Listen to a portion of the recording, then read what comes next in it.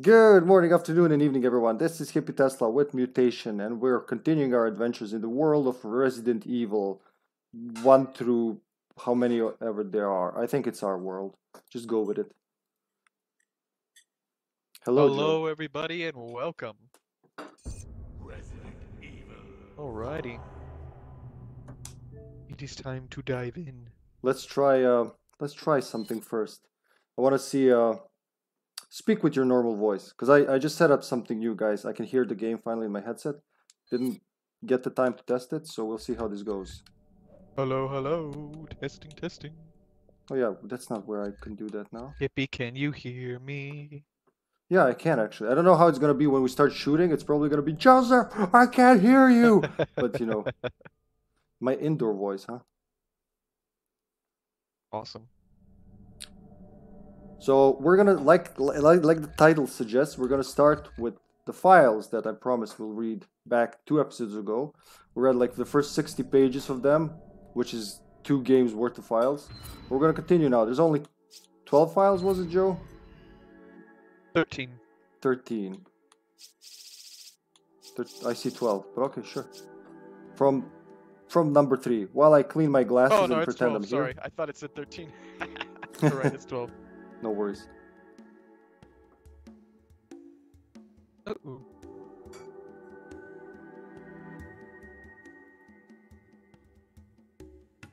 Zdravo, zdravo, Majko.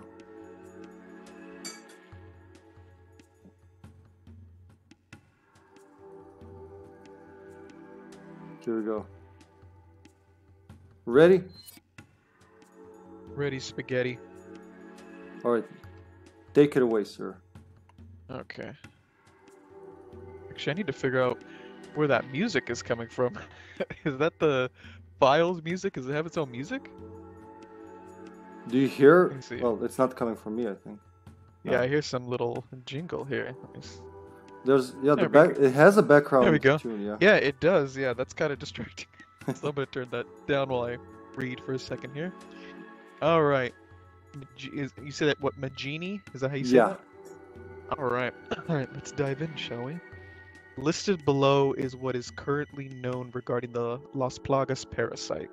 Though only recently discovered, the parasite known as Las Plagas was sealed away under the family castle of Castellan Ram- Ramon Salazar for many gesture- generations.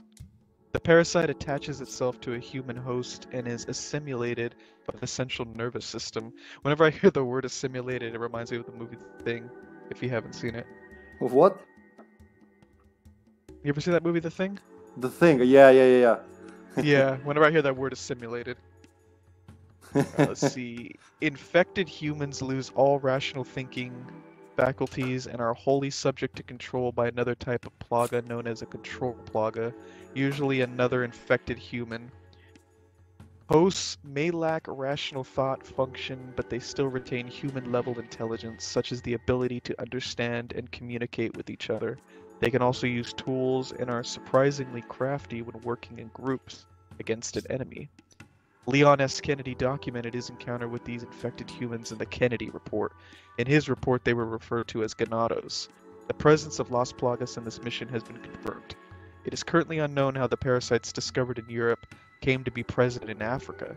A known bioweapons smuggler, Ricardo Irving, is wanted for questioning regarding this matter. This information was obtained by the BSAA's Alpha team at great personal risk to themselves. Their report indicated that a Las Plagas sample was extracted from Europe and has undergone both biological and genetic modification, creating a more effective and potentially dangerous biological weapon. This modified Las Plagas has been classified by researchers as a Type 2. The presence of the Type 2 Plagas has been confirmed to be present in Africa by various intel reports. Type 2's initial infection characteristics vary from the original parasite's infection. the Las Plagas discovered in Europe were injected into humans during the egg phase. They would then reach maturity within the host's body, at which point they would assume control of the host's central nervous system. With type 2, infection occurs from a mature parasite. This requires it to enter the host orally, usually by being forced directly into the potential host's mouth. The observed result of this type of infection method is one of extreme muscular convulsions and uncontrollable body spasms. Also of note, whereas the original Las Plagas took anywhere from a few hours to a few days to assimilate a host, Type 2 requires almost zero maturation time. From this point alone, Type 2 is a much more efficient weapon. Infections of this type have already been witnessed by BSAA operatives currently stationed in the area. Type 2 takes over the central nervous system of infected humans and incapacitates normal rational thought faculties. The infected hosts become willing subjects to the ones that control them. However, to maximize their effectiveness as a weapon, the persons who command them do not need to possess control plaga to do so. According to intel reports, Type 2 hosts are apparently known as Majini to weapons dealers. This word comes from the local language meaning evil spirit. Because the codename Type 2 exists, Oh, it's presumed. I did? Yeah. Where? To page 10. Oh shit. Backing up. like. Hosts retain hosts retain their intelligence, and the abilities of the host are dependent on the abilities inherent in the human before infection. This is the same as with the original version of the Las Plagas parasite. It has been speculated that to raise their proliferation as a weapon, the parasite has been altered so that its hosts will actively infect others in order to increase their numbers. According to intel reports, Type 2 hosts are apparently known as Majini to weapons dealers. This word comes from the local language meaning evil spirit. Because the codename Type 2 exists, it is presumed that there are subsequent numbered types, example being Type 3 and Type 4. No confirmation of this, however, has been acquired at this time. Very informative. That's disgusting the way they describe it, but you know, we see that Yeah. in the game. it's pretty gross. Yeah.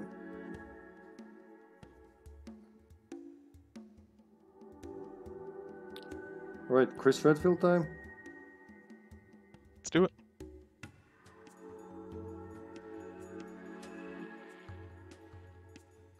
Uh, you're still reading, I'm still cleaning my glasses. Oh, that's right.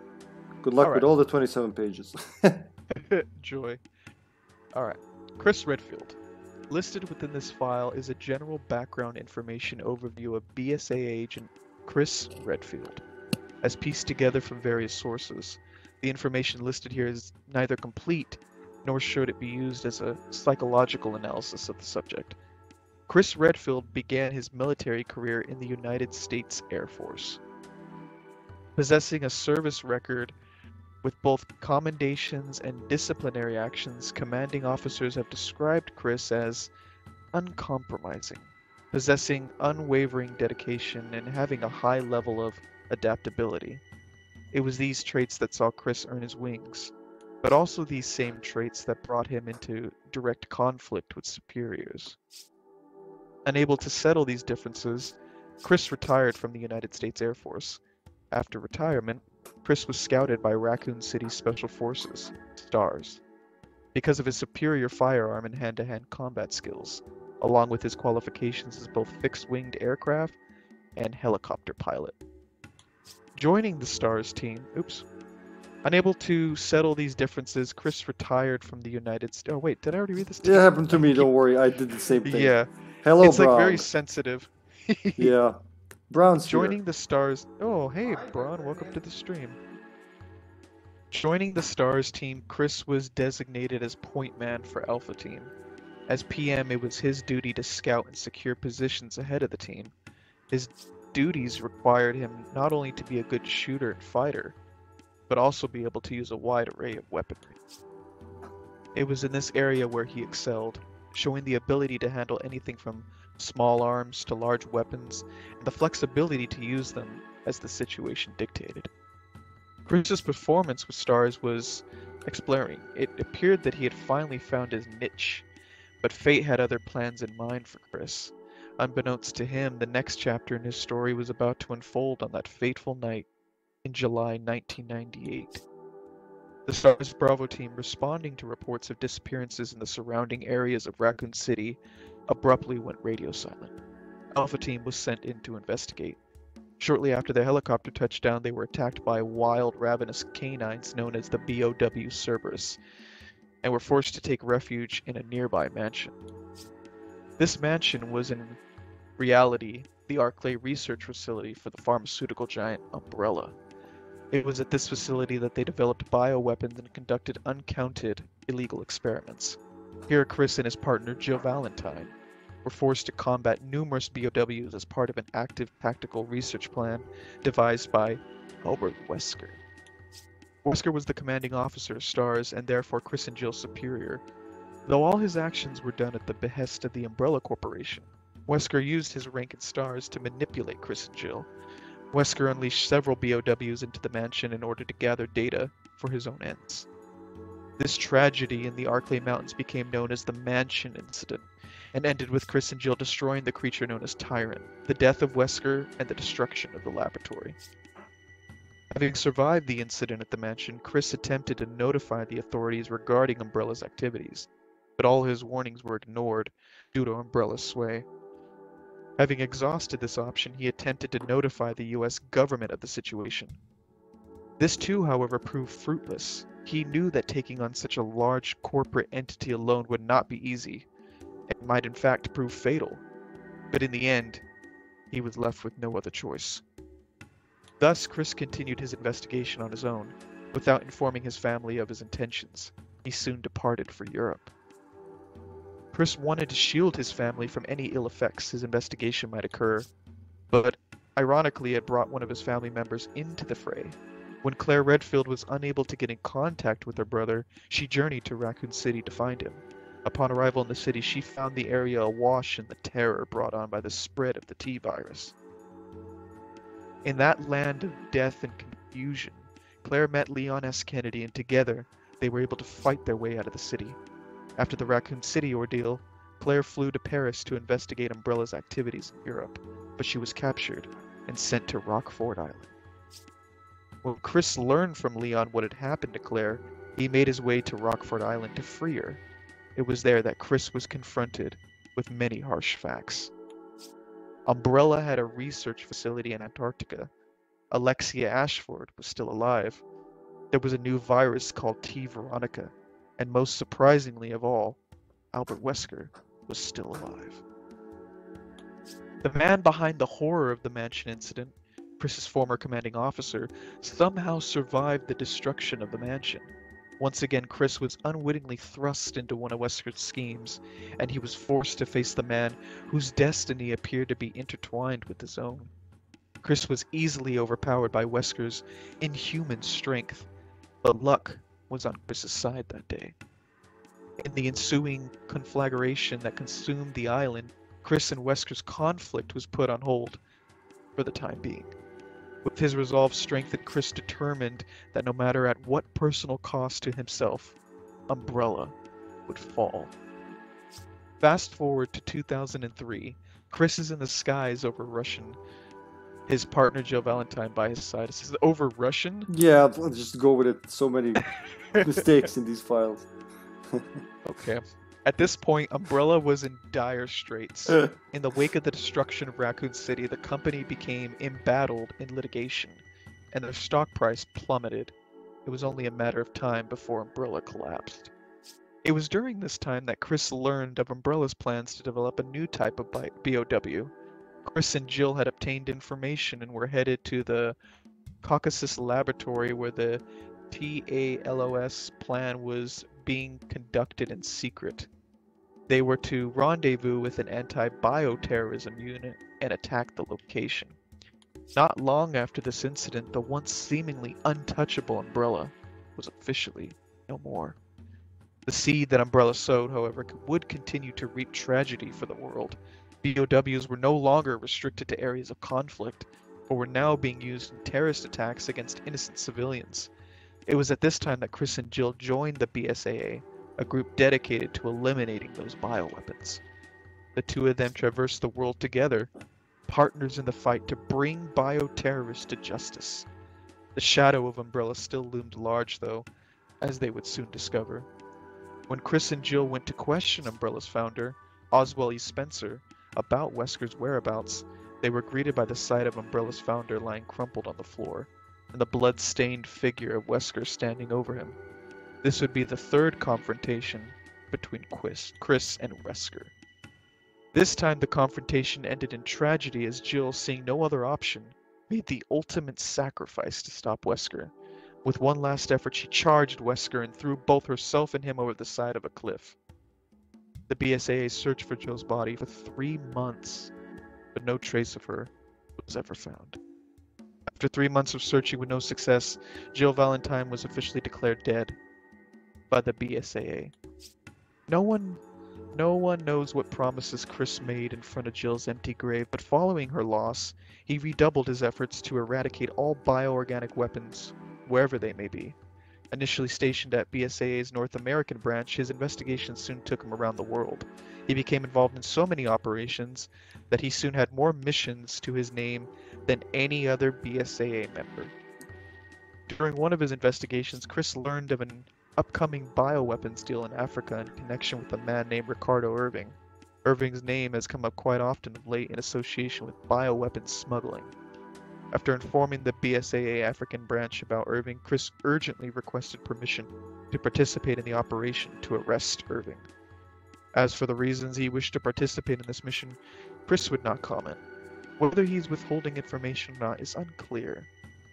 As one of the most respected BSA agents, his presence in this operation greatly increases the chances of success. Thus, his request has been granted. Man, like, does that mean that did he know? Did he did he have a hunch? Did he ha- have a tip? You know, there's I gonna don't some- know. There's gonna be a Jill. I don't know. It, it he seemed rather, if not almost completely surprised by Jill's presence. So maybe not. I think it's just his uh his dedication to just stopping the smuggling, any any act of bioterrorism. He kind of almost like an obsession, if you will. Yeah. Oh, thank you, Letty. I appreciate the the comment. That great narration. Thank you. Just one second before we continue. I want to see. Can you adjust volume, headset volume, without being in the party in, on Xbox? Because my party is on the PC, but uh, the game is louder than you. Basically, I want to fix that before we get into action. Because once we start shooting and exploding, it's gonna be, you know, hard to do that. Are you talking about how to adjust the the volume for the game? Yeah. Well, on the Xbox, is there a way to do it on Xbox dashboard rather than in game? You know. What do you- Oh, um, that is a great question. I think so. If you go to the audio and music, um, um, there should be a way to modify, I think, the the volume, but I'm not sure. No, I'm in vol- volume and audio output, and it. I think it only shows when you when I'm in the party. So I'm gonna do it in Ah, game. then. okay. S- Just so I can hear you. I need to hear you better than the game. What I hear now isn't that is independent of what's in the stream, basically. So Right.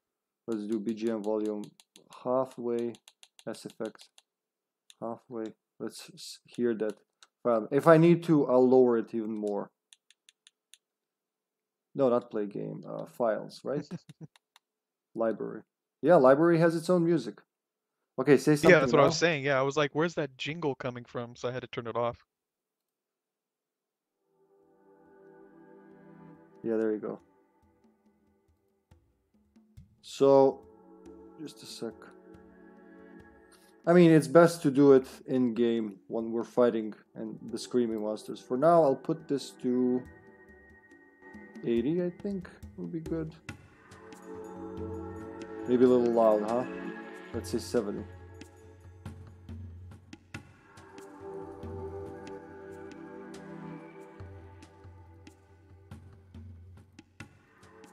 Alright, I think this will be it. Say something? Imagine we're Testing, getting we're getting chainsawed by one of those like chainsaw majini. Oh God, he's killing me. I think that's okay. If need be, I'll, I'll lower it. Alright. 36 pages, 16 pages, 11 pages, Jesus Christ, 10 pages, 12 pages, 26 pages, 8 pages, 24 pages. Holy Oh shit. Alright, God, I'll take why the is next one. Sheva's, Why is Sheva's file longer than Chris's? Let's hope that's like there's a lot of line breaks. Oh, Alright, I'll luck. take I'll take Sheva. Alright. Here we go.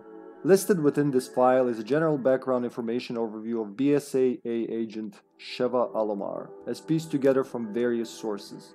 The information listed here is neither complete nor should it be used as a psychological analysis of the subject. Sheva Alomar was born into an impoverished family situation in a small factory town situated in Africa. This particular town being home to Umbrella Plant 57. 57? What happened to the first 56? As with most factory towns, the plant was the lifeblood of the town, bringing in much needed revenue and steady employment for its populace. Almost 80% of the town's adult population was employed at the factory and some facility, including Sheva's parents. While the pay was low by most nation standards, it provided a steady income for the townspeople and a happy childhood for Sheva. Man, this kind of speaks to me. this happiness was short lived, however. While only eight years old, Sheva's peaceful life was brought to an abrupt end by the sound of sirens erupting from the factory.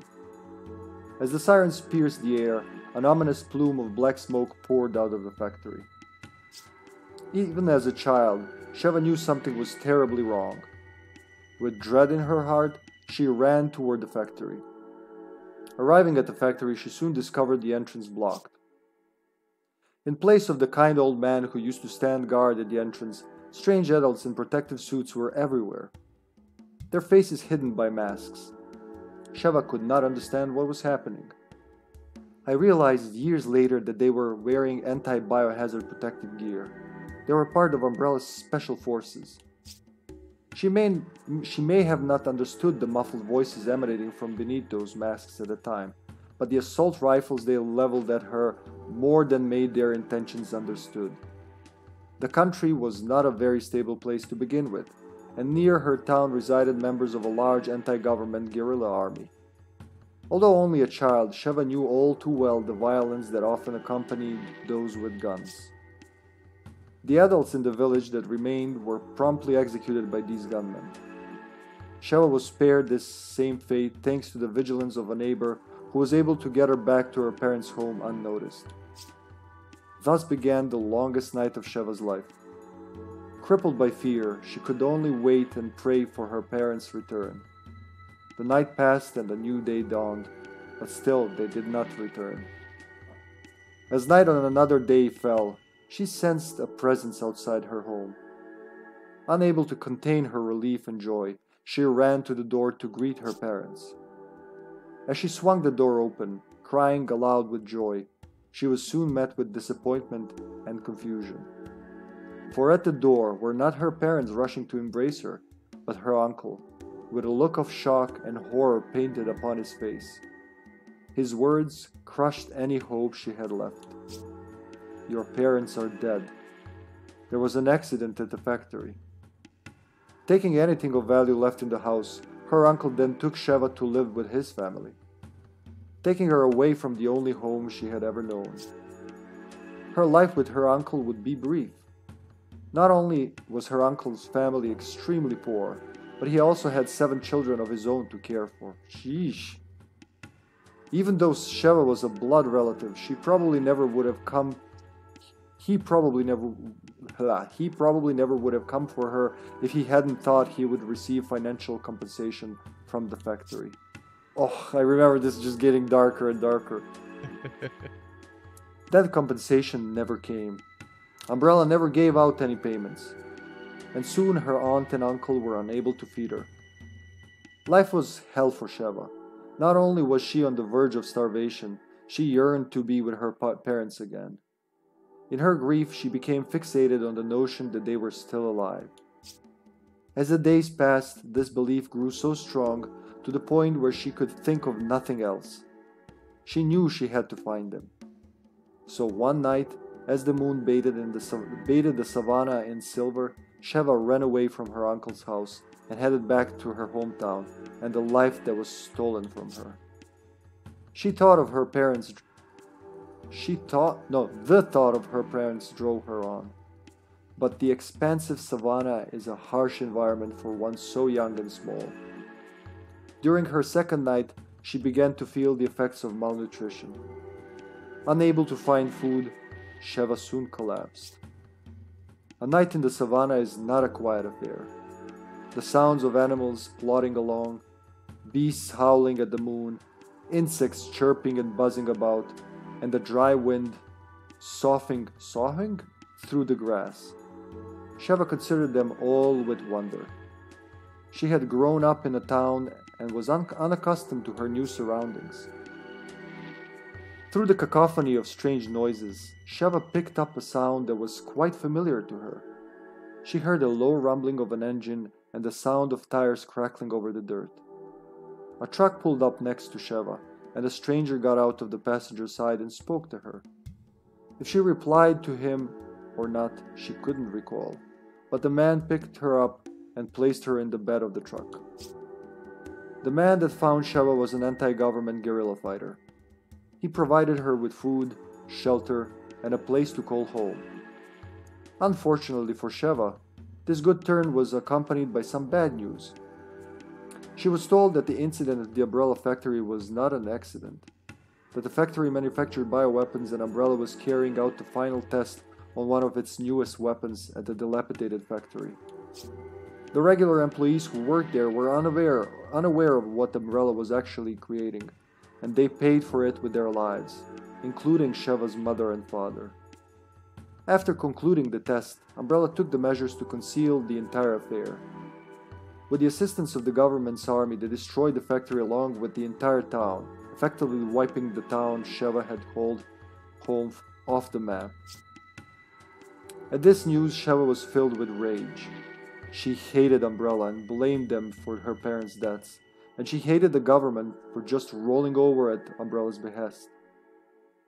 It was at this moment she decided to join the guerrillas in their fight against the government. Sheva started out by doing laundry, cooking meals, and taking care of, the, of other chores. After only a few years with the guerrillas, she was given her first gun. Only a few. You would expect that to happen within days. yeah. She doesn't like to talk about her time with the guerrillas. Perhaps the memories are too painful, or maybe she's too ashamed of what she did there.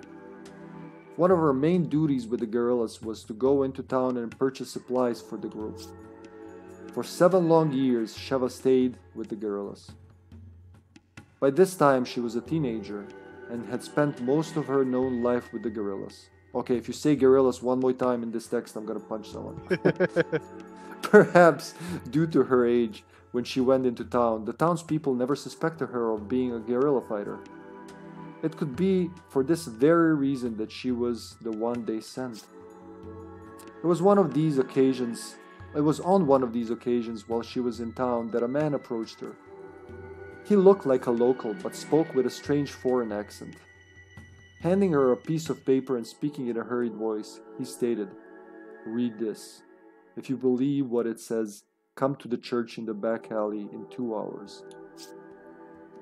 After speaking these words, he disappeared into the crowd as quickly as he appeared.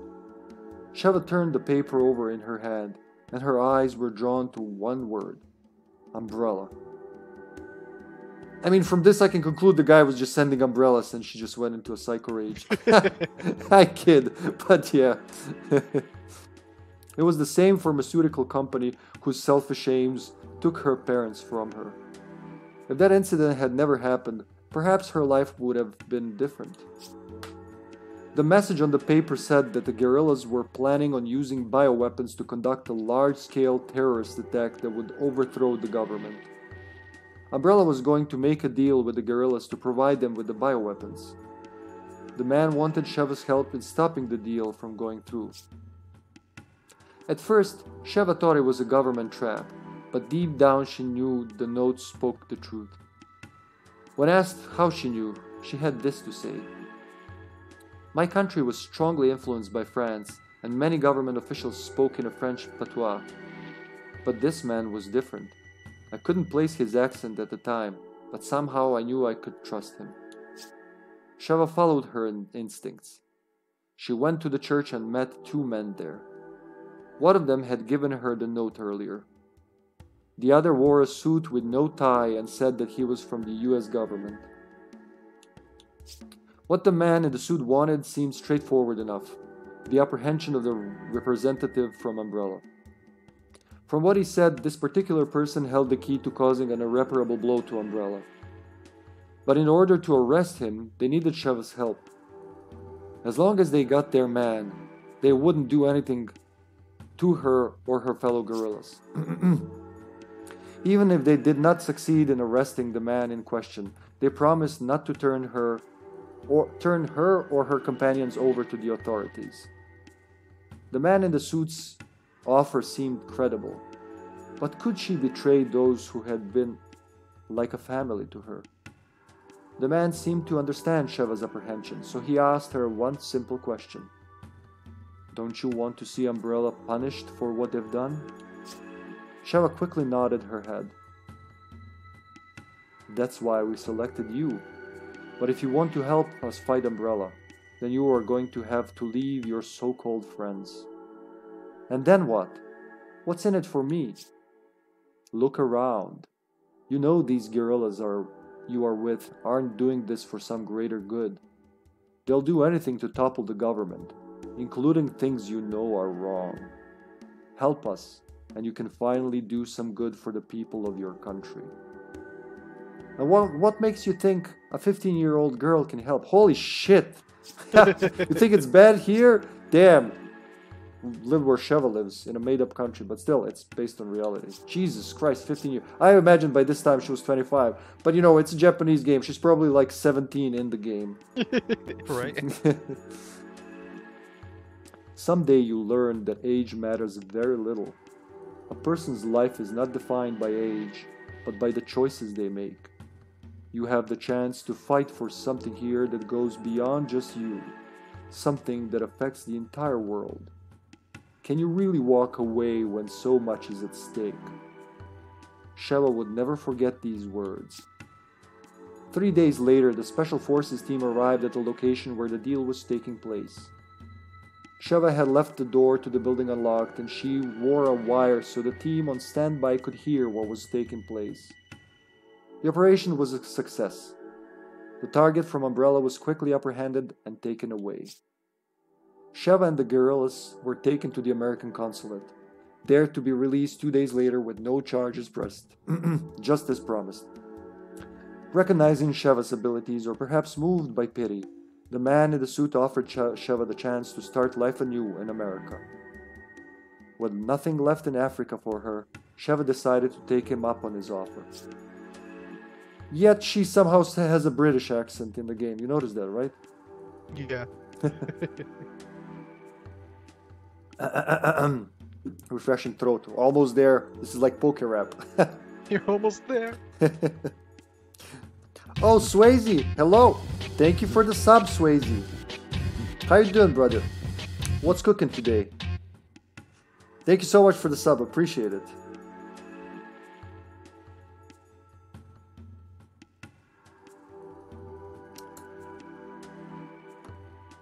Is it working? Yeah, it's working now. Check out Classic Swayze. Currently doing a run of Diablo 4 like a pro. Good, good. It's going great, man. We're reading files. We're currently lost in files, and later we're gonna be lost in nightmares. how are you? How are you with RE5, Swayze? uh, rest, rest well, my friend. Days off are meant to be for that. Unless you're like me and you topple the house cleaning. Don't do not do that. Shortly after arriving in America, Sheva's high intelligence and drive quickly became apparent. She surpassed any and all expectations, even learning English to a native level in a mere six months. Within two years of arriving in the US, she had enrolled at a university. After graduating with high honors from her university, her legal guardian, the man in the suit, suggested that she join the newly formed BSAA to help others as she had been helped. Umbrella had already been dismantled many years prior, but Sheva had not let go of her hatred toward them all, and others like them. After completing basic training, she was assigned to the unit led by Josh Stone. There, she trained with his unit for eight months, learning everything she would need to know to survive in the field. After the completion of her training, she was handpicked to become a BSAA agent. She is currently involved in operations throughout the world. Woo! That was a long one. Woo! Yeah, Swayze, I don't blame you. It's fun with a friend, but it's not horror. Personally, not a fan of post-outbreak Resident Evil, say Ferrari 7. And uh, what was the other one? Revelations 2, I guess, is okay. But like all of these are... It's like making a new Tetris and naming it Tekken 9, you know? That's that's what it feels like for me, at least. But it, like I said, it's very fun to play with a friend and even read files with a friend. So mutation, my friend, just 16 pages. You can do this. I can do it. All right, we're on to file number six. Ricardo Irving. According to official records, Ricardo Irving is the overseer of the oil refinery owned by Tricell Africa Division's Resource Development Department. Good lord. Crude and arrogant- yeah. Crude and arrogant, he possesses an insatiable desire for the accumulation of wealth. It is these traits, along with his unique resourcefulness, that have most likely made him Tricell's ideal agent in dealings with selling BOWs to black market individuals. The money gained from these dealings is then invested by Tricell Africa back into their bioweapons research and development. The demonstration of those weapons for clients act as operational tests. Given the degree of Irving's involvement, it is believed that he is one of only a handful of people that know the full extent of Tricell's bioweapons business. Irving's activities and their connection to Tricell, however, have been carefully kept under wraps. Adding to the misdirection is the fact that he is officially employed with the Resource Development Division and not the Pharmaceutical Division that sponsors the BSAA. Tricell is a conglomerate comprised of shipping, natural resources development, and pharmaceuticals. Each division runs on its own capital and, as such, could all be considered separate entities under one parent company. Also of note are the divisions that exist between each of Tricell's branch offices. When the BSAA learned of Irving's latest deal, they viewed it as a illicit activity conducted on his own and without support from Tricell. BSAA's mission, therefore, was not to fight biological weapons, but to apprehend a smuggler involved in an illicit deal. Irving was able to exploit that misconception to the fullest. Irving was informed of the BSAA's mission and changed the location of the deal to a mine outside of the Kijuju Autonomous Zone KAZ when a BSAA team arrived at what they thought was the deal's location inside the KAZ. They walked into a trap. Before the team even arrived, the improved version of Las Plagas was released upon the populace of the town, transforming most of them into Majini. This intel was acquired by Alpha Team and later confirmed by the data recovered by the backup team, Chris Redfield and Sheva Alomar, prior to Irving's deal.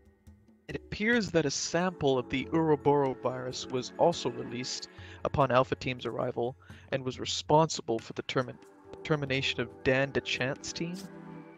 Irving did not take into account that the Ouroboros would be engaged and defeated by agents Redfield and Alomar, nor that a hard disk and its data would be seized. The data obtained from the hard disk allowed the two agents to proceed to the actual location of Irving's transaction, the mine. When confronted with the reality that his plan had failed, Irving was forced to take the following actions. First, he contacted his partners in the transaction and requested to delay the deal, after which point he went to the mine to retrieve any documents and materials relevant to the transaction. It was at this point that Redfield and Alomar found him. However, it was obvious that he had a backup plan for just such a contingency. Irving escaped thanks to the help of a hooded figure he had on standby. The two agents were left to deal with Popo Kam- Karimu? nice. I didn't even know that's what the name was. Popokarimu, A yeah. bat- A bat based BOW that was originally intended to be used in the transaction. It is thought that Irving released this BOW on the agents in retaliation for disrupting the transaction and not to aid in his escape. It was becoming apparent by this point that Irving's mental stability was in question. Whether his irrational behavior was brought on by the interference of the agents or if the increased stress only brought out his true tendencies is unknown. Irving's situation, however, would digress even further. After escaping from the mine, he was soon discovered by Captain Josh Stone's Delta team inside the KAZ. In order to escape, Irving unleashed Ndesu? Is that how you Mm. say that? Ndesu. Indesu, confirmed to be based on the El Gigante BOW used in Europe. The frustration of losing two large valuable BOWs in such short succession must have been keenly felt by the Aquarius Irving. After reaching the conclusion that there was nothing more he could do, Irving plotted to escape with his accumulated wealth, but he was soon overtaken by the hooded figure, who provided him a vial containing Las Plagas. This was to be his punishment for failure. He was to administer this on himself in order to fight the two agents. This vial contained a Las Plagas variant known as Control Plaga. According to BSAA Intel, the use of the Control Plaga has been documented by Leon S. Kennedy in Europe. The Control Plaga differs from the common form in that it does not take over a host's rational thought process. Another difference being that it causes extreme transformations to the host. As such, Control Plaga hosts must resign themselves to never being able to live as a normal human again. In a last ditch effort, Irving detonated the oil refinery, but unfortunately for him, the refinery was virtually dry at the time, thus limiting the size of the explosion. His hope was that he could destroy all incriminating evidence and kill Agents Redfield and Alomar so he would not have to resort to using the Control Plaga. Irving was left with no choice but to administer the injection to himself, at which point he underwent an immense and rapid transformation. But even the power he gained from that transformation did not avail him. He met his end at the hands of the two agents. Well, more like at the hands of our uh, chain guns, but you know. That's right. we fired so many bullets at him that it was uh, inhuman. Here we go, one fourth.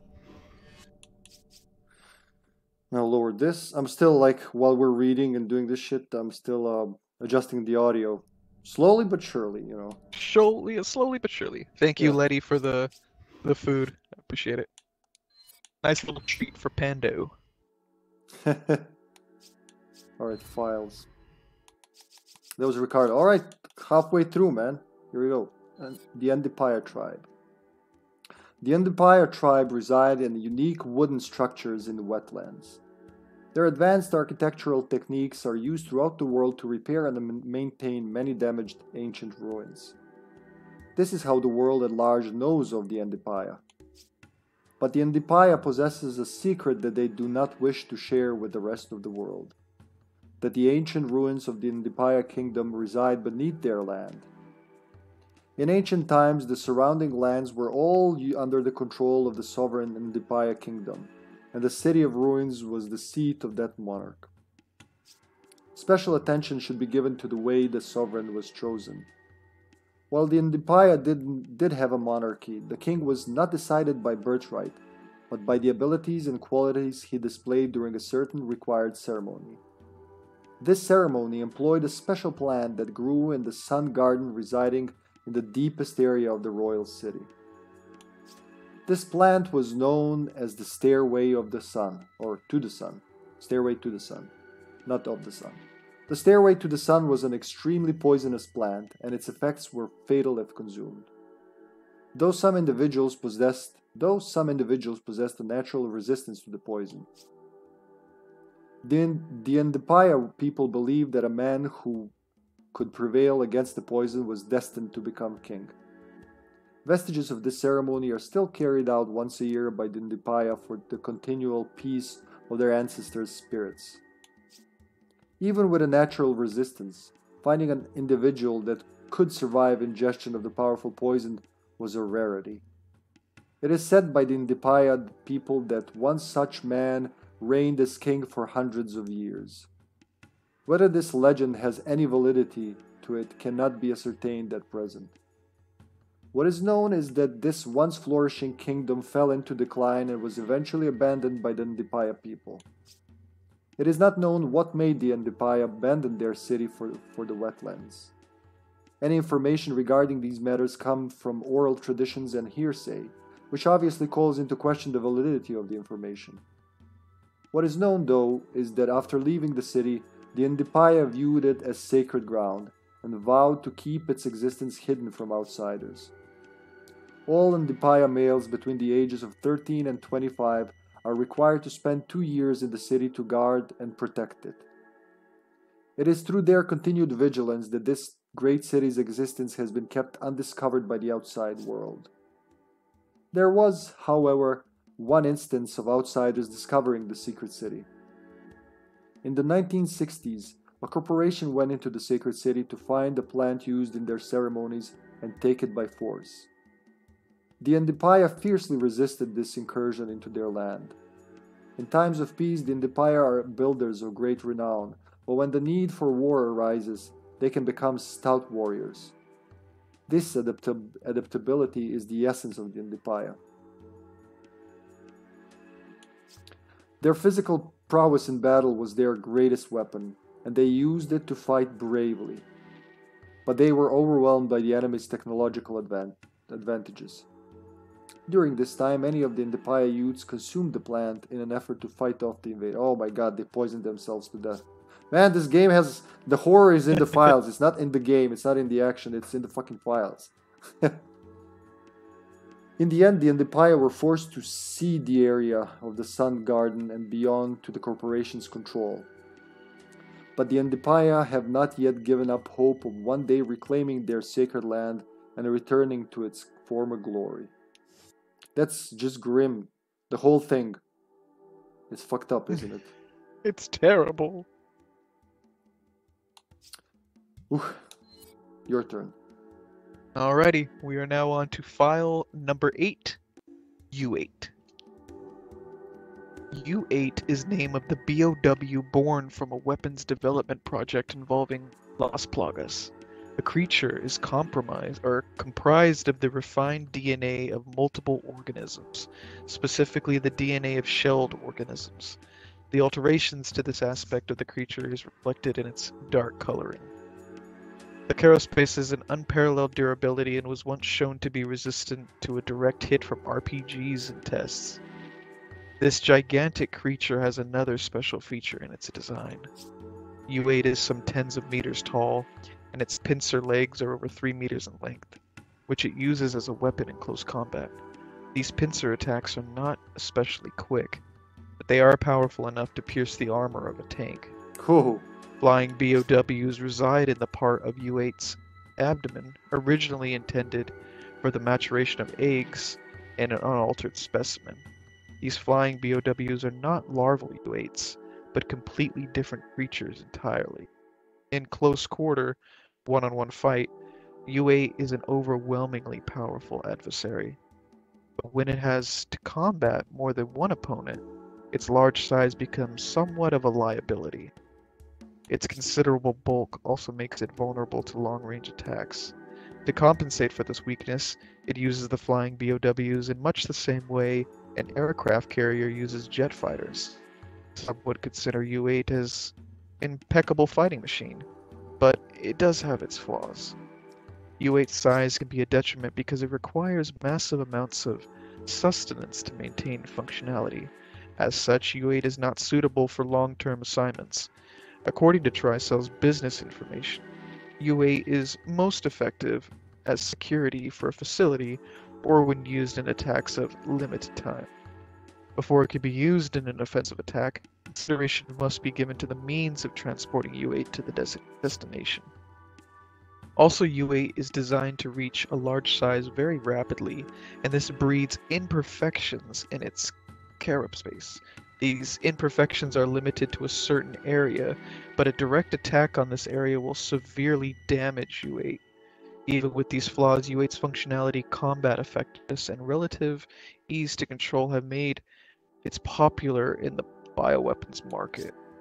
Records indicate that Ricardo Irving has sold a multitude of both the original U8 and the upgraded version, U8 Prime, which has a multi-layered carapace for extra defense along with shell covering formerly exposed areas.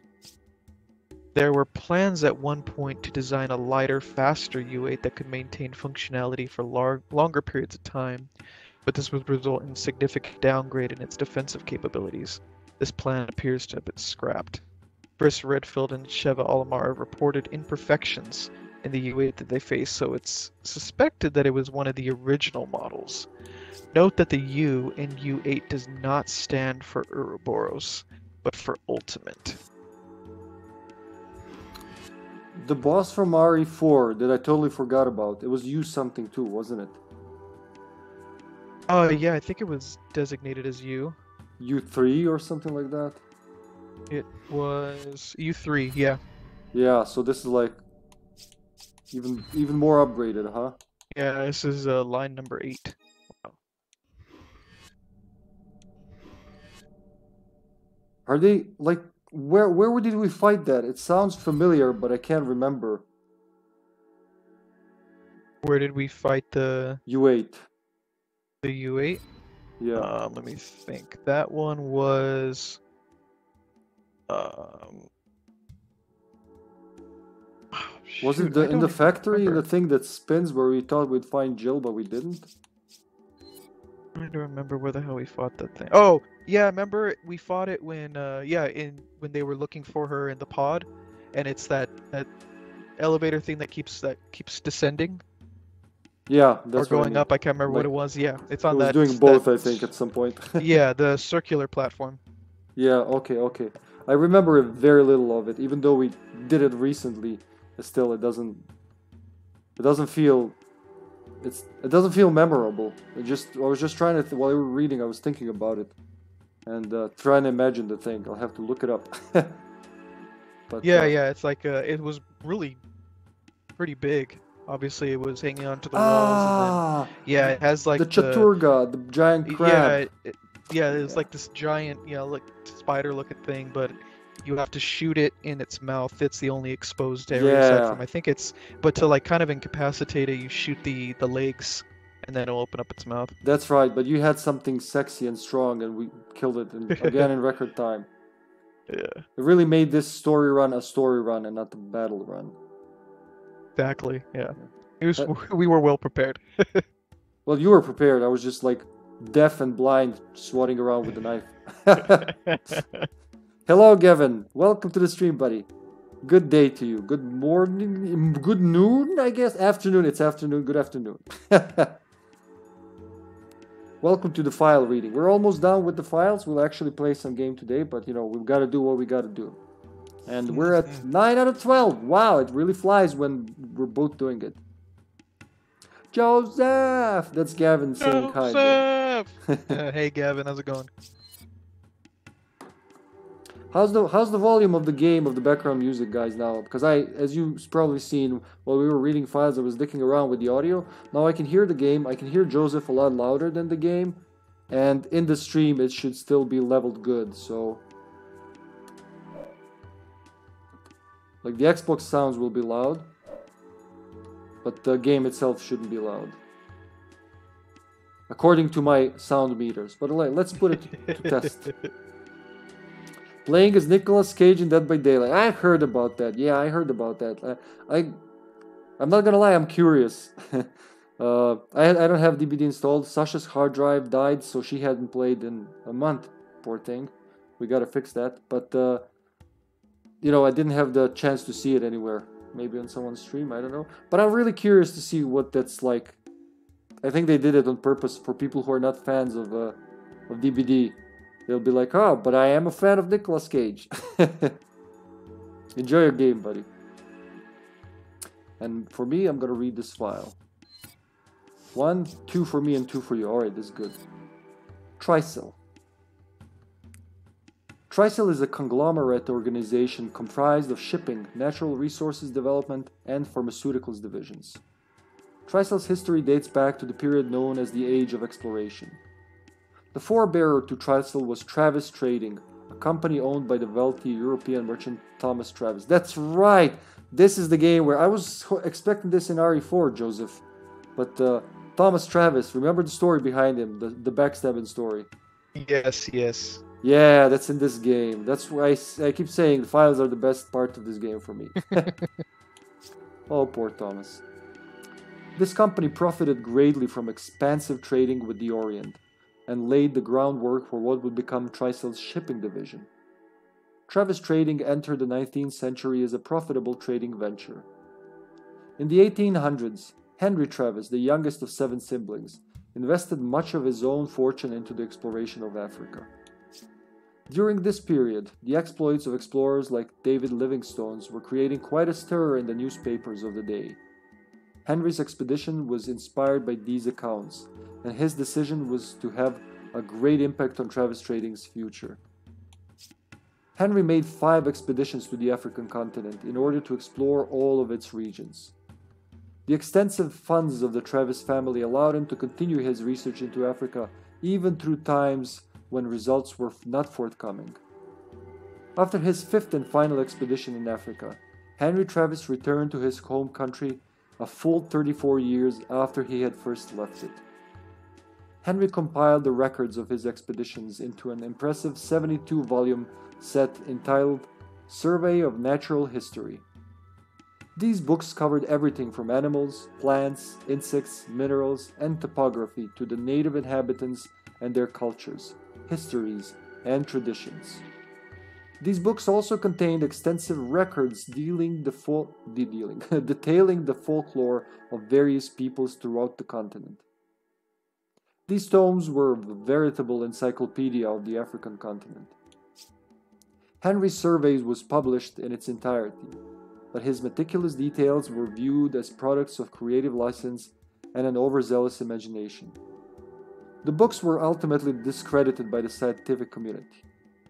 Considered to be a novelty item, only a few copies of the entire series were ever published. The shock of being shunned by the scientific community sent Henry into a deep state of depression. He passed away only two years after his return from Africa.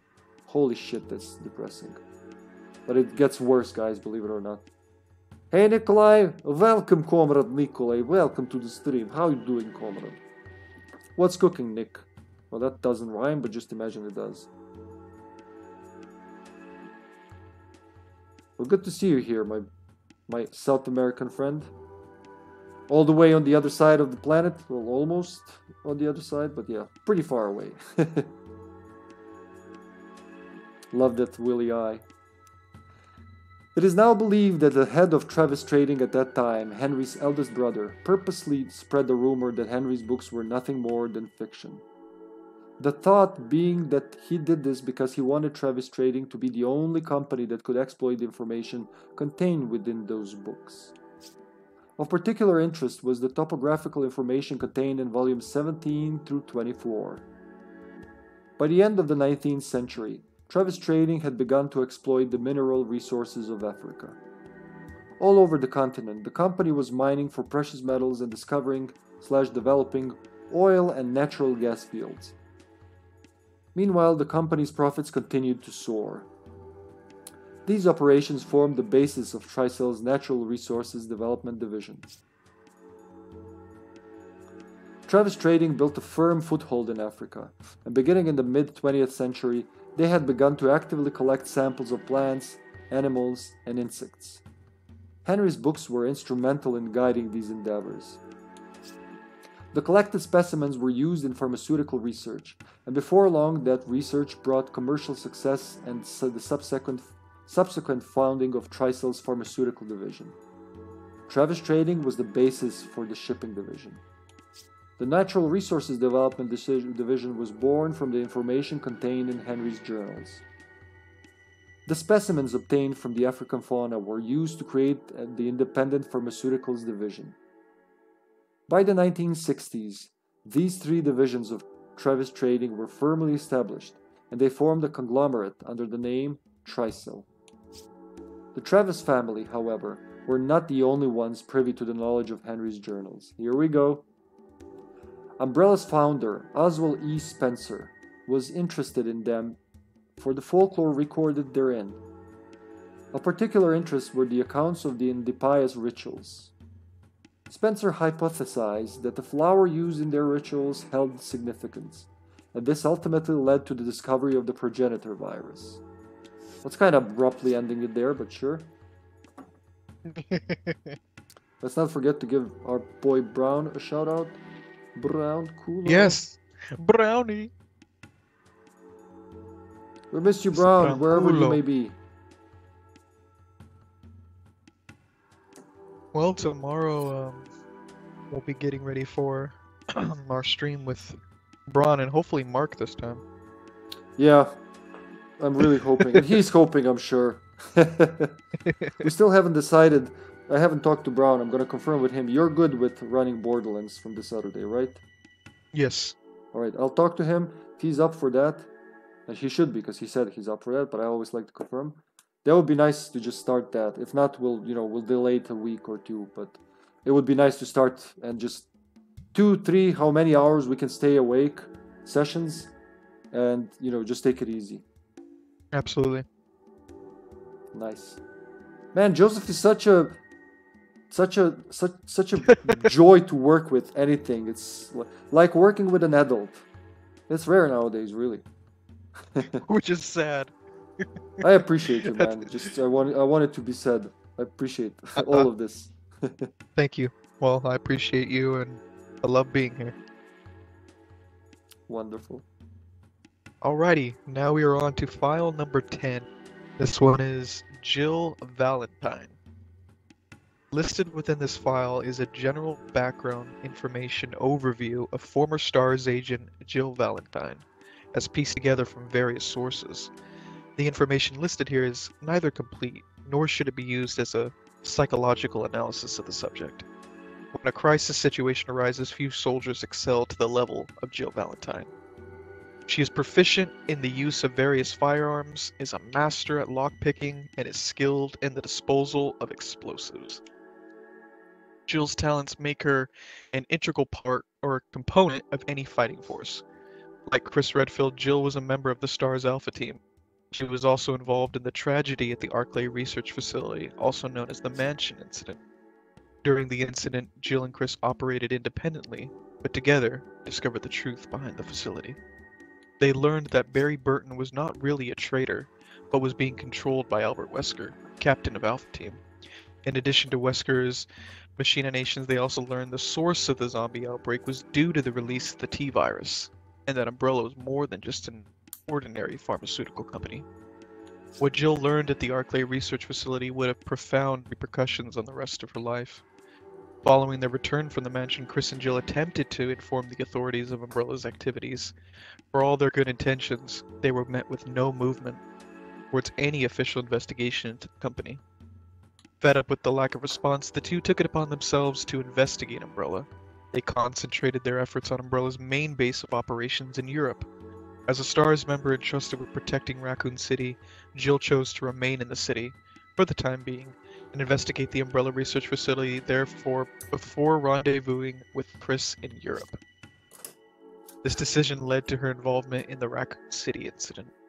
During her investigation, rodents infected with the T virus from the Arklay Research Facility began to spread the virus into the city. The virus quickly spread, infecting majority of the residents. Umbrella, the perpetrators behind this incident, reacted swiftly.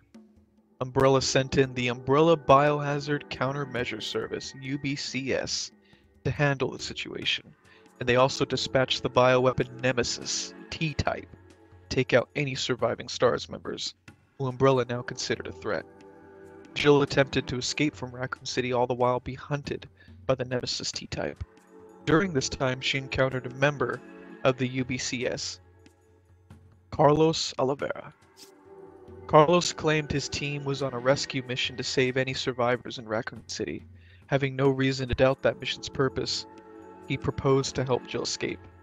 Jill, on the other hand, had her doubts.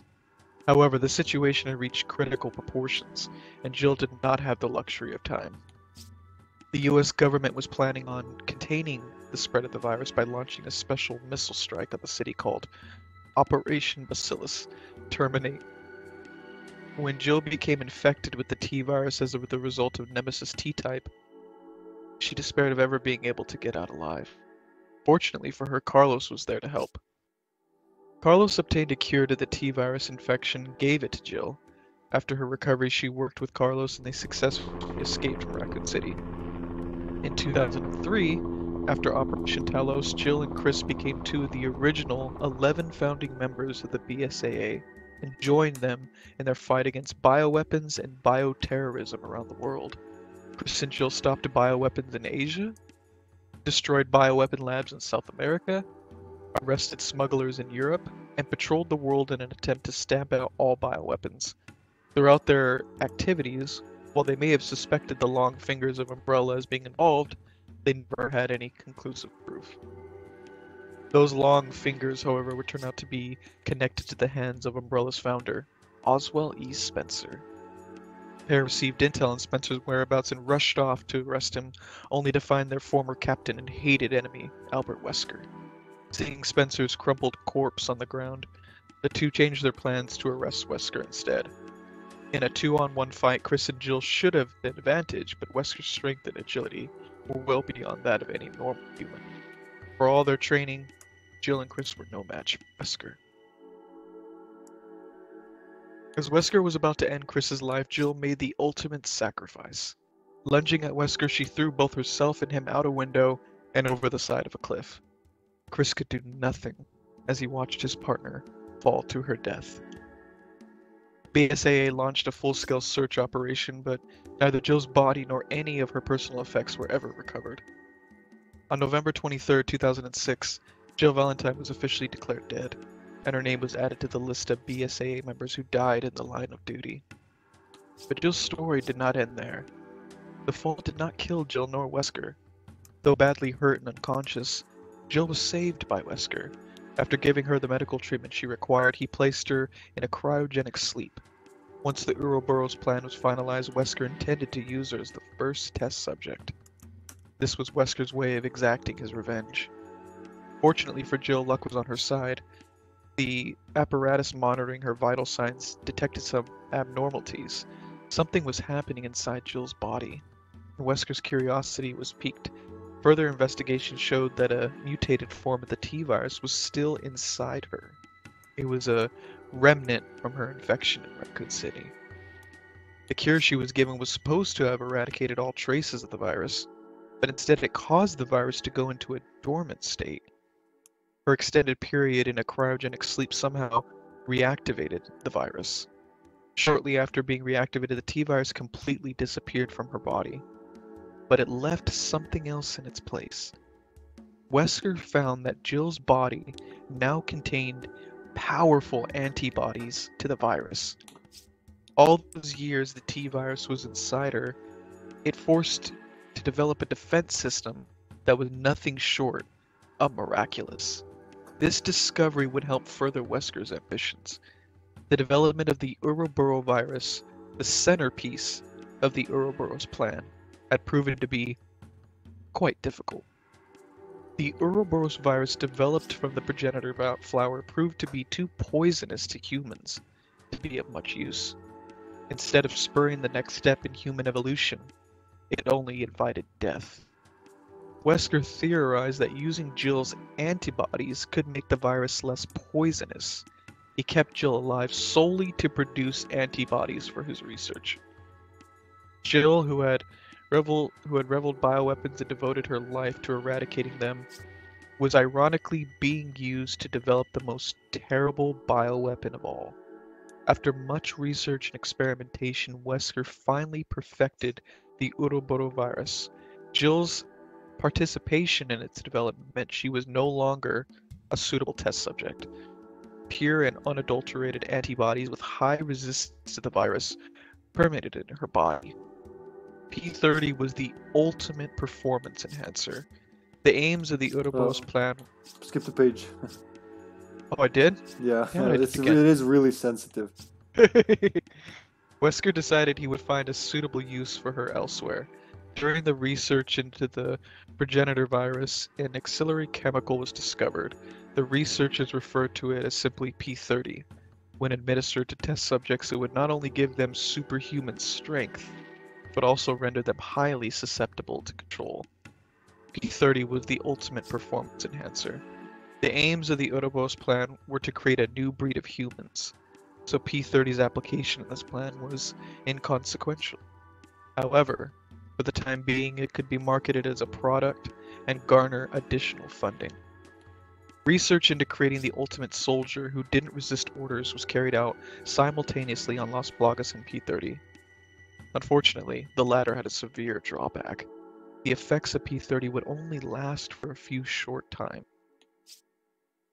An injection of P30 was metabolized and expelled by the body at an expeditious rate requiring re-administration of the drug at frequent intervals. This greatly lessened the viability of such a product as a long-term performance enhancer. The only counter to such a drawback was to attach a device to the subject that would continually administer the drug. While P30's effects were brief, it was still a powerful and effective drug. The effects of continual administration were untested, so in order to research this aspect further, an administration device was attached to Jill. An external device was attached to Jill's chest that would continually administer the drug to her body. With her free will constantly being observed, she remained a servant to Excella and Wesker until Chris and Sheva destroyed the administration device. Bravo for that, man. That was a long one and filled with Yeah, it was fun. technical jar- jargon. All this technical mumbo jumbo. Yeah, you become a scientist after reading this, even though it's you know science real. fiction. Wesky, thank you for the raid, my man. Appreciate it. I hope you don't mind that we didn't want to interrupt, my man Joseph here, because this is like we're we're at the wow, two more files. I thought it's one, but two more files and we're done. We've been reading this for over an hour. Jesus Christ, it really flies. Command and Conquer. Oh, I told you, I'm I'm, I'm dipping into the first CNC slowly, but you know, I'm I like finishing things. Honestly, I don't like leaving things unfinished, which is probably obvious in the channel. Even when it's like a month or two, uh, something in life interrupts me, I will come back and finish. You know what I started. That's something I value a lot. So that's the only reason why I'm not, not going deeper into those games. I'm finishing the. I'm doing the off stream just for my soul. The Final Fantasy 12 remaster, which is adorable. So, and I started Kameo Elements of Power, which I never played. So, I'm sometimes it's drawing me, and especially when I see you play Red Alert. The first Command and Conquer is amazing. Red Alert is even better. But uh, do you play multiplayer, Wesky? While you answer that, I'm just gonna continue reading this. Raiders, welcome in. If you haven't fallen fell asleep yet, you know, fallen asleep yet, you're not gonna. Oh, good. Multiplayer. Such an amazing to play against someone. I remember early days in PlayStation game rooms we had here. if you want to play Command and Conquer with someone, Red Alert specifically, they'd you'd have to pay for two people on two PlayStations on two TVs with the serial cable. I don't know if you've ever seen that to connect two consoles, and then they would put a big old cardboard be- between us, you know, like a partition, so you can't see what the other person's doing. And we played Command and Conquer day and night. Well, mostly day because they close at night, but like all day on the PlayStation. And it was always my wish to try it on a PC, which is, I believe, what you're doing, because it looks so good. Again, thanks for the raid and all the support over the time, Wesky. You're just like, if there was, if there's a raid leaderboard, you're definitely up there. Do we have a lead, raid leaderboard? I should check into that. But Wesky would be that employee of the month, uh, 50 months in a row or something.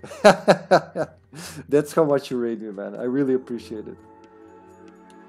All right, Excella Gionne, and then for finally, Mutation will get the file about Sexy Wesky. but let's see. Oh, Yes, how Excella just ate.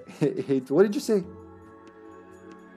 Said how exciting! I get to review Sexy Whiskey. Yeah, all 26 pages of. Joy. Excella Gionne. She's Italian, isn't she? The Gionne family is well known and respected throughout Europe for their successful export-import business. Her grandmother, being the Travis family, being from the Travis family, the founder of Tricell, has endowed Excella with quite a noble and storied lineage. Blessed with model-like beauty and raised in such an aristocratic family, has led her led to being her naughty has led to being her naughty towards those around her, especially Godzilla got a stroke reading this shit. Okay, just she was naughty. She wasn't unconscious. She was naughty. Hear that, Joe? I heard it. I heard it. Ugh, just wrong. But it was neither Excella's looks or family background that got her to where she is today. Gifted with a keen intellect and inheriting her father's business acumen, Excella quickly breezed through school and enrolled in a university at a young age. There, she majored in genetic engineering, and her talents were recognized by her grandmother's family. With it's, I'm sorry, it just sounds like it's not her family, just like her grandmother's family. I wonder what, how much was lost in translation in this. With her connection, she was able to enter Tricell's pharmaceutical division at the age of 18.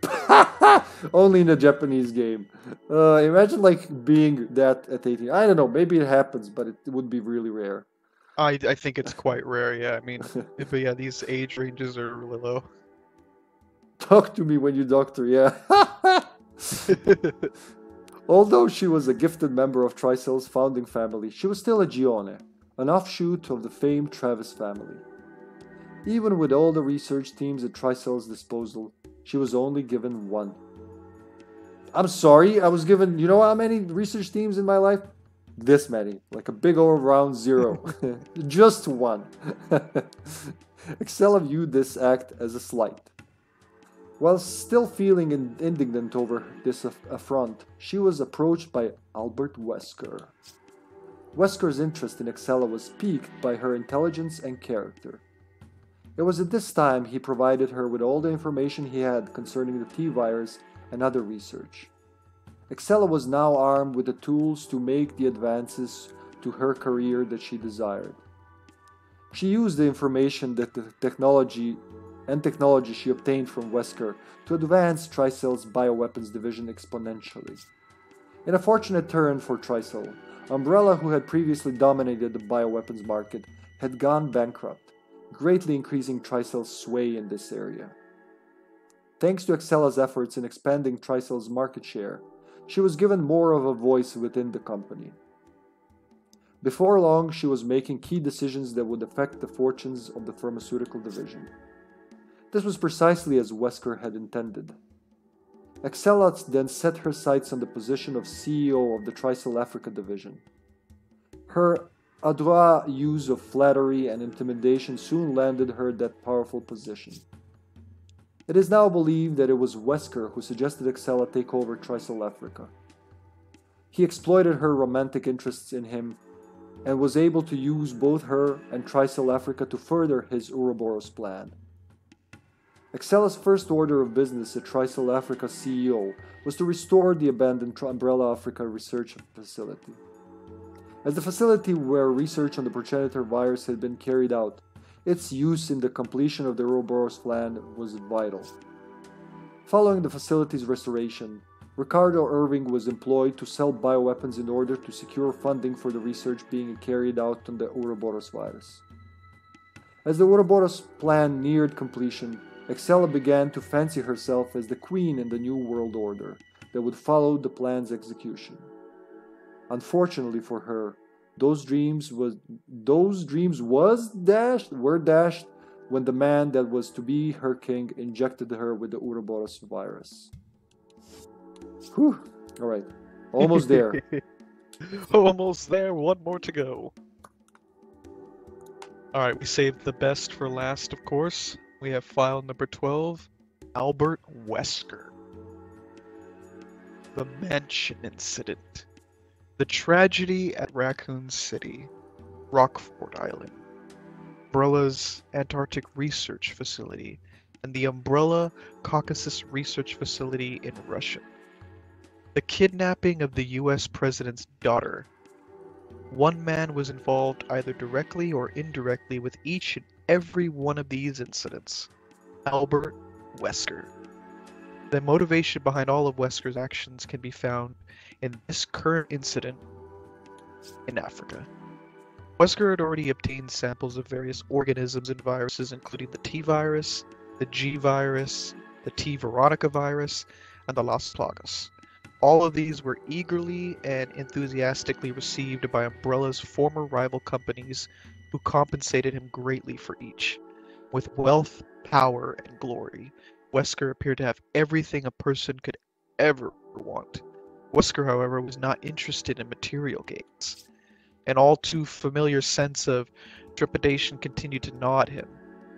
The source of this uneasiness being Umbrella's founder, Oswell E. Spencer.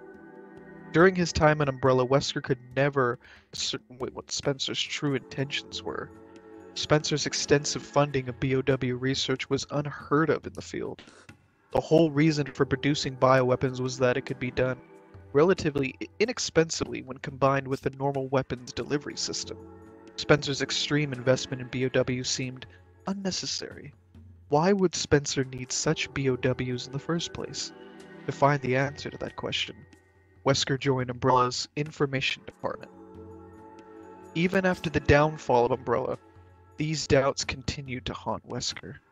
To find the answers he needed, Wesker began to search out Spencer. The only problem was that even before Umbrella's dissolution, Spencer had removed himself from Umbrella's day-to-day operations. Wesker had to use every resource resource at his disposal, all his time, money, and connections. Eventually, he ascertained Spencer's long-hidden whereabouts. On the first night of autumn, as thunder and lightning raged the skies above, Wesker arrived at the ancient castle of Europe, where Spencer resided. Wesker expected the old man to be surprised by his presence, but instead the withered old eyes of Spencer lit up with dark delight as he spoke. You are back. Hold on one sec, my cat is going crazy over here. He probably also said, I am pleased. Yeah. Yeah, I know it's exciting story. Go on. she likes it. She's excited. She's like, this is riveting. uh, let's see. The words barely audible amidst his cough racked laugh. If Wesker had his doubts about Spencer before, he didn't know what to make of him now. He only knew at that moment that this seemingly feeble old man had been in control of everything that had transpired at Umbrella. Even Wesker's own actions through the years had been controlled and manipulated by this decrepit old man. With this sudden realization, Wesker now knew the source of his anxiety for all those years. Appearing to read Wesker's thoughts, Spencer laid out everything to him. The development of bioorganic weapons was only a means of achieving his true goal the forced evolution of mankind via viruses. It would be the end of the current form of humanity and the birth of a new superior human race. With this new race, he would build his utopia, with himself as God on Earth. In order to realize this dream, he required three things. Number one, the progenitor virus. Without this key component, his dreams would be no more than abstract ideas. Once he discovered the progenitor virus, he had the foundation on which all his subsequent plans would be built. Number two, the Umbrella Corporation. The manufacture of bioweapons was the perfect method of conducting his research on the progenitor virus. Any profits gained through Umbrella's research were secondary to his true goal. The third thing Wesker, or excuse me, Spencer needed in his grand vision was Wesker himself. Spencer knew what was required for his utopia. He also knew he would need a new human race. But what would that new breed of humans be like? The progenitor virus would spur natural selection upon the population. That was the fundamental premise behind Spencer's plan. But if the new breed of humans brought about by the selection process were unwilling to share in his vision, then there would be unwanted complications. This four staged evolution would give the surviving humans increased strength and intelligence, but it would not affect a person's knowledge, logic, or general character. If any indolent or unsavory individual survived to be part of this new race, it would be a blight on Spencer's utopia.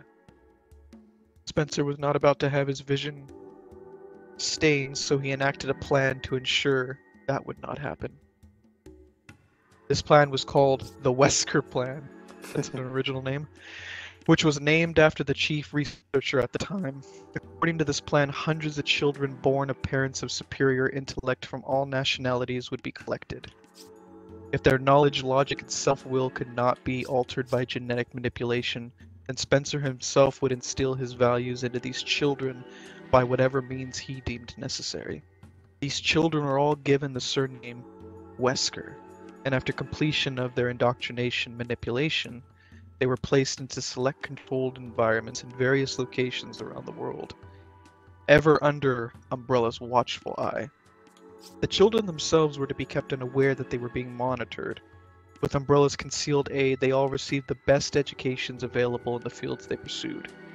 After a few years, one child who showed particular promise was sent to Umbrella's training facility in Raccoon City. This Wesker child's name was Albert.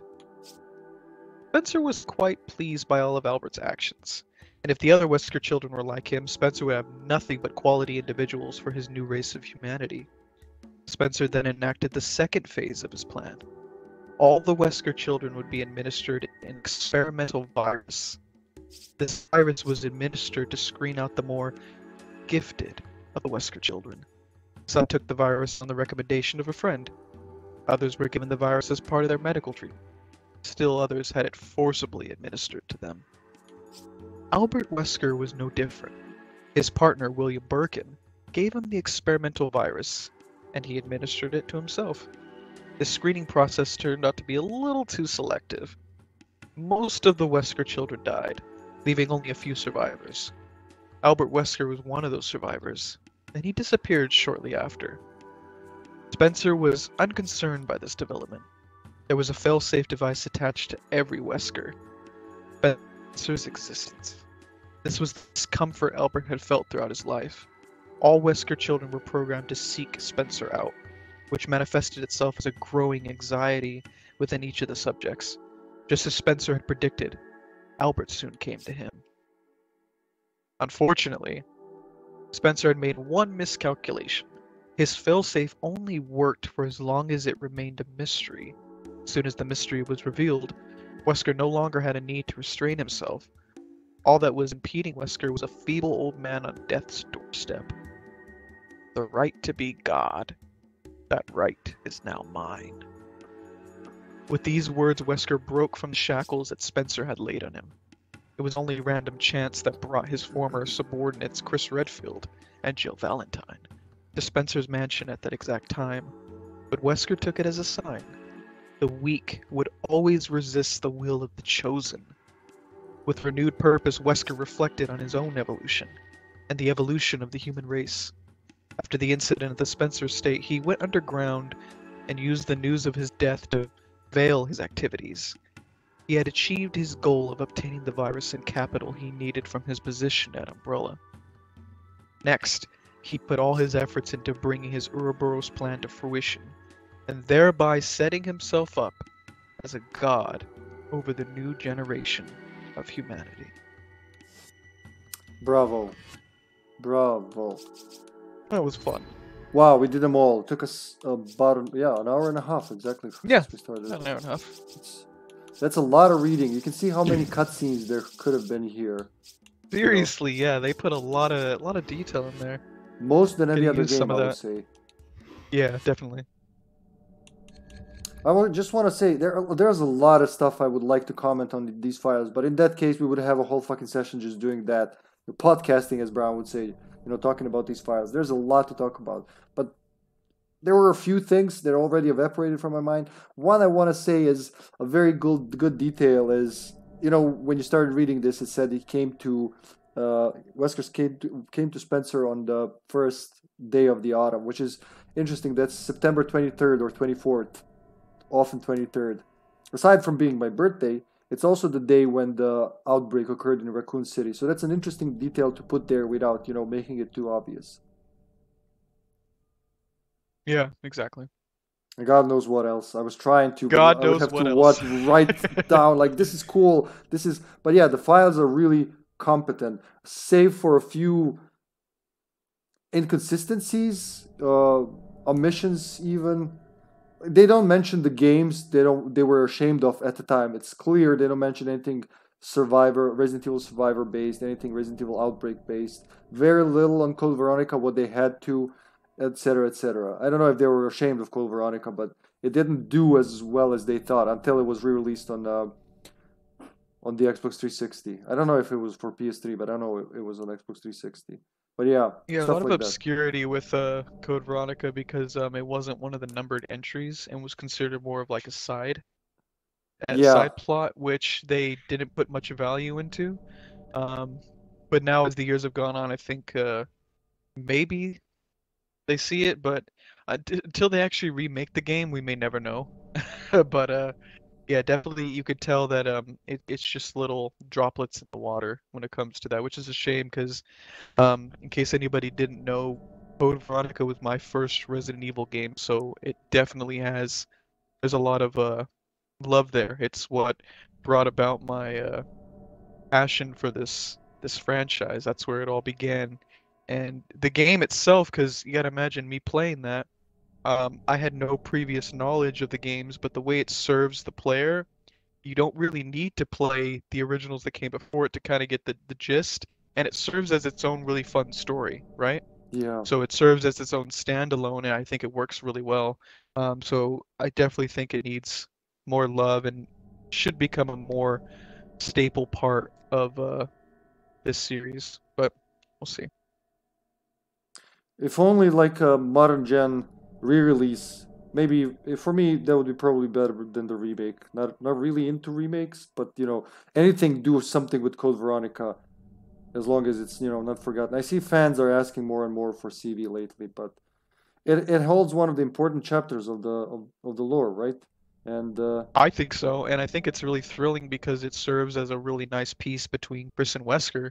Because yeah, if you don't have Code Veronica in there, um, the disconnect is kind of far because Chris's uh, encounter with Wesker, it starts at obviously RE, and then there is there's a huge gap between it, at least video game wise, where there's really no interaction between the two until five. And so really, if you skip Code Veronica and you just play the the main titles, it, it doesn't have that that strong sense of revenge and um, the connection there because the gap is so big. It goes from Chris and everything that happened in RE and then the conclusion in five. So the in between, you'd have to read files, do all that stuff. But if you don't do any of that stuff, it, it, there's just nothing there. Code Veronica serves as a nice little jump between because they fight in that one, right? So in Code Veronica X, there's actually a fight scene between the two.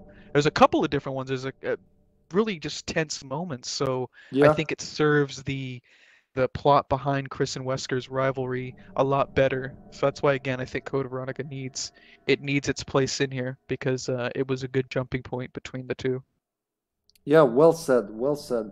Which is, I was gonna say just as you started saying that. For for me, I played, I watched Resident Evil Degeneration, played Code Veronica, and right after Code Veronica, I played this, and it just felt like Code Veronica and Five were way more connected than Four and Five.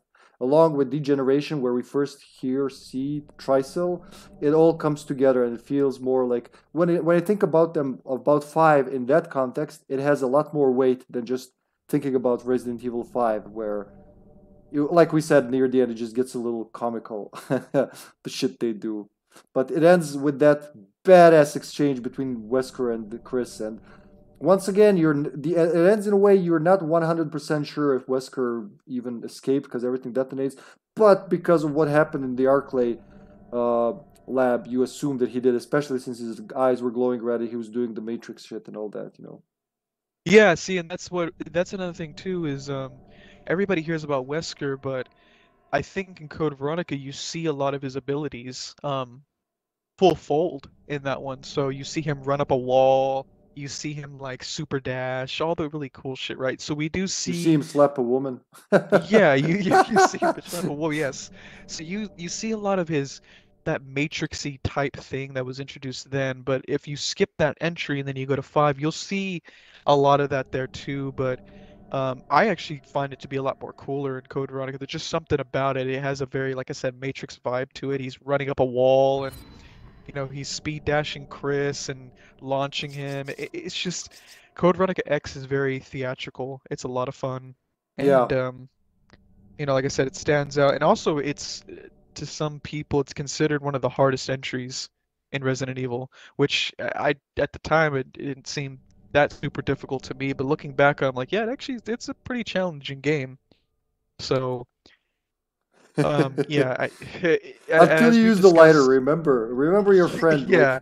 difficulty dropped the moment I started using the lighter as the as the lighter. yeah. It's crazy, but that Uh, kind of design that was unique to Code Veronica, and I think that's why some of us that played it when it was when it came out and then replayed it over the years. I think it, you told you, you you said before to me it's like that to you. All the gameplay uh, elements, all the little formulas that weren't instantly noticeable, they weren't obvious over the years. You're like, huh, this will only happened in Code Veronica. The map, what I raved on about, that I'm pretty sure you Yep, agreed Yeah. how the map how they reuse the same map but after destruction walls have fallen new doorways are open all that Yep. Exactly. brilliant just brilliant but uh okay i think we've sucked code veronica's dick off long I enough think so. let's get into like what we came here for it's been two hours almost jesus christ I know everybody's been anticipating us playing. It is time now. So let me uh turn on the game's volume here. So it's an extra content, Lost in Nightmares. Chris lost his partner. Jill, on a top secret mission some years back. Find out what happened on that mission in this amazing episode of Resident Evil 5. Hello, Whopping Luigi. Luigi. Welcome to the stream, man. Oh, the, the, the Resident Evil 5 ad libs. All right. Okay, I guess invite me when you're ready. All right, let's see if I can co op online. There you go. Let me Host. let me get get my cat. Hold on. All right, you do that. Get my cow? I think he said cat. It goes great, man. We, we we spent almost two hours reading all the files from this game. Smashing fun. and now we're actually gonna play the expansion. How you doing, man? Are you streaming? Are you are you doing stuff? Tech reaction co-op invite only. That's right. Okay, I'm ready. Creating games game session. It sounded like you said, "Let me get my cow." Oh no, yeah, I needed to get my cat. She's just she wants to go into uh, my daughter's room, so I had to go open the door. Alrighty. Yay, Oh, here we those- go. Let's see if it connects right away. Switch to game session. Okay. Searching for game session to join. That's such bad language after you get invited. So confusing. Searching for what? The invite you just received?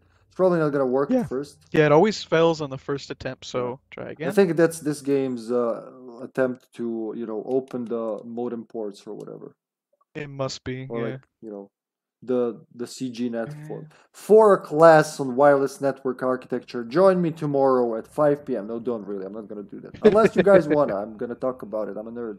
What can I do? Hey, gamer, glad to have you here, man. We're finally Holy gonna fucking start shit, that's playing. loud. Ah. Uh, so Oh, it's, it's hurting your ears. You, yeah, the game chat is being transferred for some reason. A few years ago, the BSAA received intel as to the whereabouts of Umbrella's founder, Oswell E. Spencer. hey, gamer, let me know how the About volume of the game sounds in case I need to adjust it. We accepted that mission in the hopes of uncovering some info that would lead us to Wesker. The Master of Unlocking. Chris to HQ, come in. We're at the target's location. Copy that, Chris. Move in and procure the target. Roger that. What can you tell us about the area? The satellite scan isn't showing anything out of the ordinary, but regardless, you should expect the unexpected. Understood.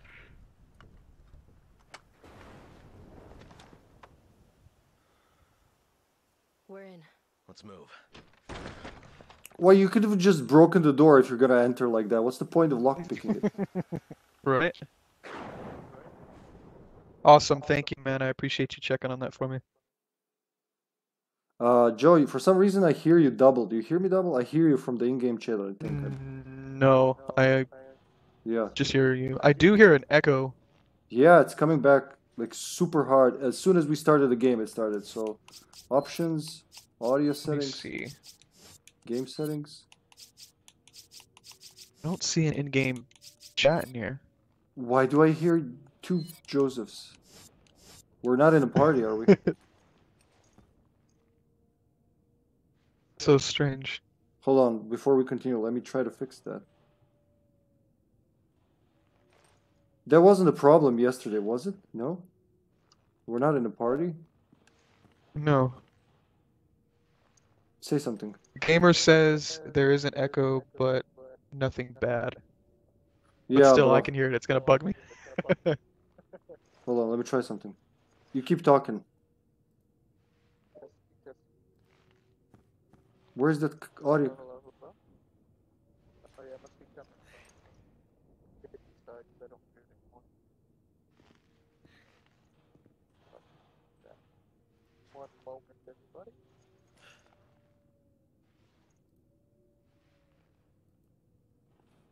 Okay, so yeah, I can hear you the entire time through.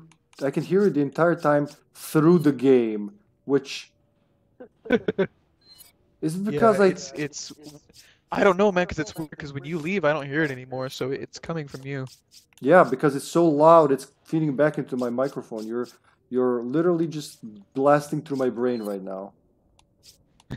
There is no-.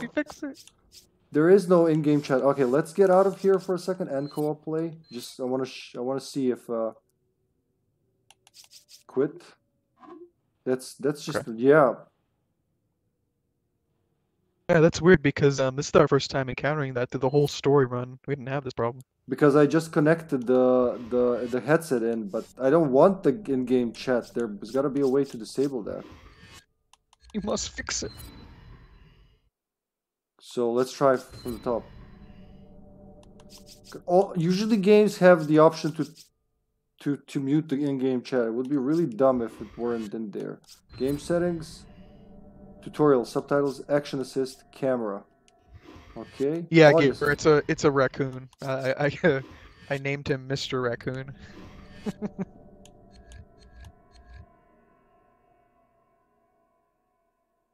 And it's delayed. That's the worst thing. I hear you twice and it's delayed. Yup. Nope. So, uh, Resident Evil 5. Mayo, do you know anything about that? The in-game chat, that's kind of annoying. I'll, I'll just have to ditch my contraption after all, I think. If, if you can't turn it off. Which would be totally like Capcom to give you a, a an, an in-game voice chat that you can't control. Just like, fuck you. You, you want to be in a party? Tough luck. Wait a minute. man. That's how I'm gonna do it. I'm gonna create uh, if that's wor- gonna work since I'm with myself. Well, what if I just create a new party? Is it gonna dissolve this one? Let's try, try test it. Okay. Can you still hear me? Nah, he can't. You can't be in two parties at once. Ugh. Well, I had hopes, guys. At least the you know the thing works. I can I can I know that that much.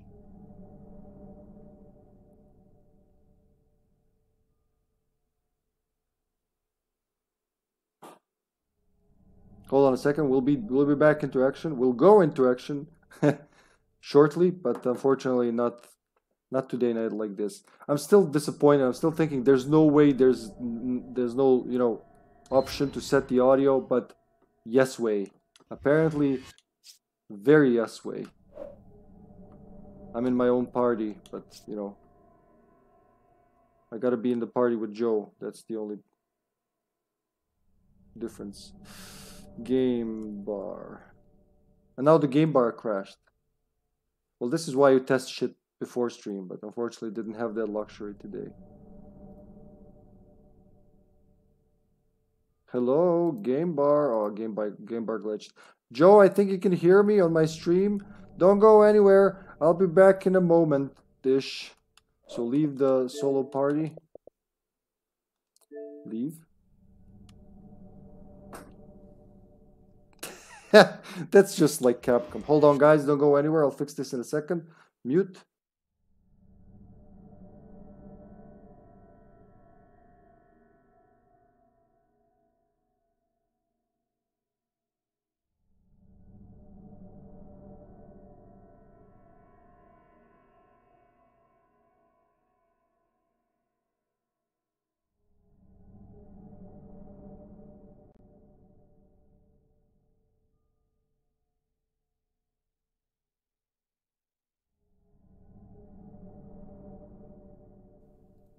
All right, I'm back to normal, good old TV audio.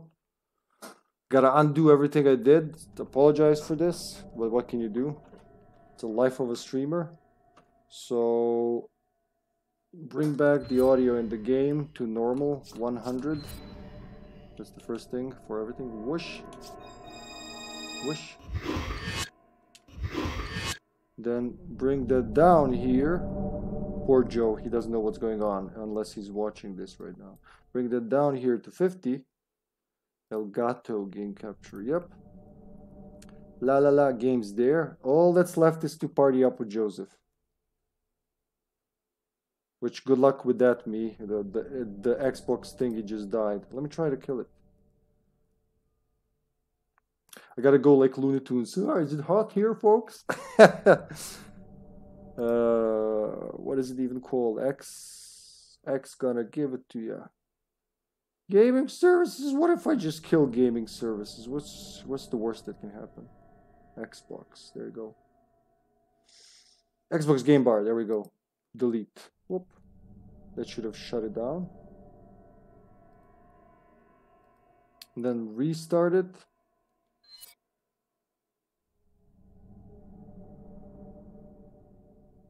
Ah, haha. Haha. It worked. It's booting. The frame rate might drop for a second. It's restarting all the modules, including the including the speaker module. Okay, that's there. The transport module from um, from the Teenage Mutant Ninja Turtles.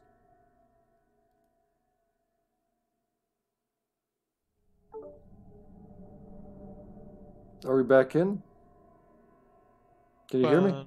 Dun, dun, dun. So Yeah, here's what happens. The game has in-game chat that you can't control or do anything about. It automatically switches on if a headset's connected, and uh, and if you're not in a party, which is just like Capcom to make something like that. You know, like uncontrolled, nothing you can do anything about. You don't want it. Fuck you. You're still getting it. God, that's So- so annoying. Yeah. So Well, co- how come we didn't uh, run into that problem when we did the story run? Because I didn't plug anything into my controller. I just listened the game through the TV. But uh, Ah, I did today, so I could hear the game. You know, I could hear it from the capture card, but with a one second delay, which kind of defeats the purpose and would Mm. would really make me dazed. So I'm I'm believing with the resistance I'll be able to use this still, which is good, but not with this game. So you know, it's not a total loss. It's just your general Capcom disappointment. They make a wonderful thing, but then it's gotta have. We have an expression for that: a, a cow, the, a wonderful cow that gives the best milk, then kicks the bucket. That's that's. Are you hard. talking about Brown now? no, Brown. Brown never kicks the bucket. He gives you the best Kicking milk. the bucket. Okay, that just sounds weird. You made me say that. I'm sorry. I don't want to think about Brown's milk. No. No, no, don't give him any ideas either. I can only imagine the shit he would say if he said that. uh, well, yeah, All right. I'm I'm gonna invite you again. Basically, something uh something uh. It doesn't work. It kind of works in English. They can imagine a cow that gives the best milk and then be like, "Fuck, fuck my milk," and kicks, you know, spills the milk. Basically, not kicks the kicks the bucket. Sounds like someone died, but more like spills the milk. Yeah. Spilling the milk. to have thrown the spoon. Is that even an expression, Sasha? Okay, it failed. Try again. Yeah, all right. That's that's normal. That's pretty normal. That's just like uh, no reason to panic. Is that an expression in Serbian, Sash? Why would I throw the spoon? It just sounds barbaric. Kick the bucket. Okay, I guess that's the. I don't know if I heard that. Thrown the spoon. Yes, thrown the spoon. Invite you infernal device. Contraption. Yes, Mayo, get Operation Raccoon City because uh, we did save you a spot for that. For Yes, when we we, sure whenever we could come to that. Here we go, mutations here. All right, we can finally play. Yay! All right, here we go. Take two. A few years ago, the BSAA received intel as to the whereabouts of Umbrella's founder, Oswell E. Spencer. Jill and I were ordered by the BSAA's European headquarters to apprehend him. We accepted that mission in the hopes of uncovering some info that would lead us to Wesker.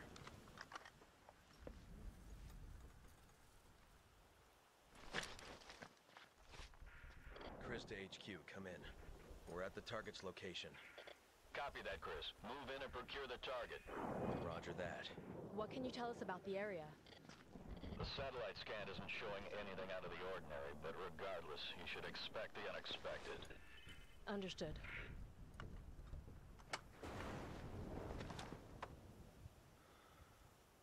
Facial expressions are top. Top notch, huh? Yeah, look, he's moving one eyebrow and just like a piece of his face. You know, why can't we explore this in this game, like in the entire game? This looks like the most interesting. Oh location. man, yeah, that would be great. I always liked this opening portion here because it's you know it's like you're you're back Don't at the mansion. We're gonna try this. So Mayo knows this is what Seward talked about. It, we, it should be if we check the doors three times, we should go back into static camera mode. So let's three. Once. I'm not leaving until I finish this mission. Twice. Okay.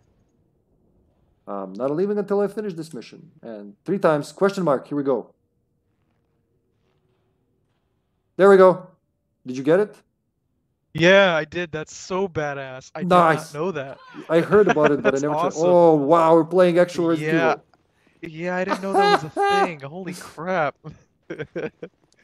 This is Oh, gonna be so weird amazing. play. No auto aim though, right? eh? Right, Mayo? Hold on, let me check that. First of all, let me.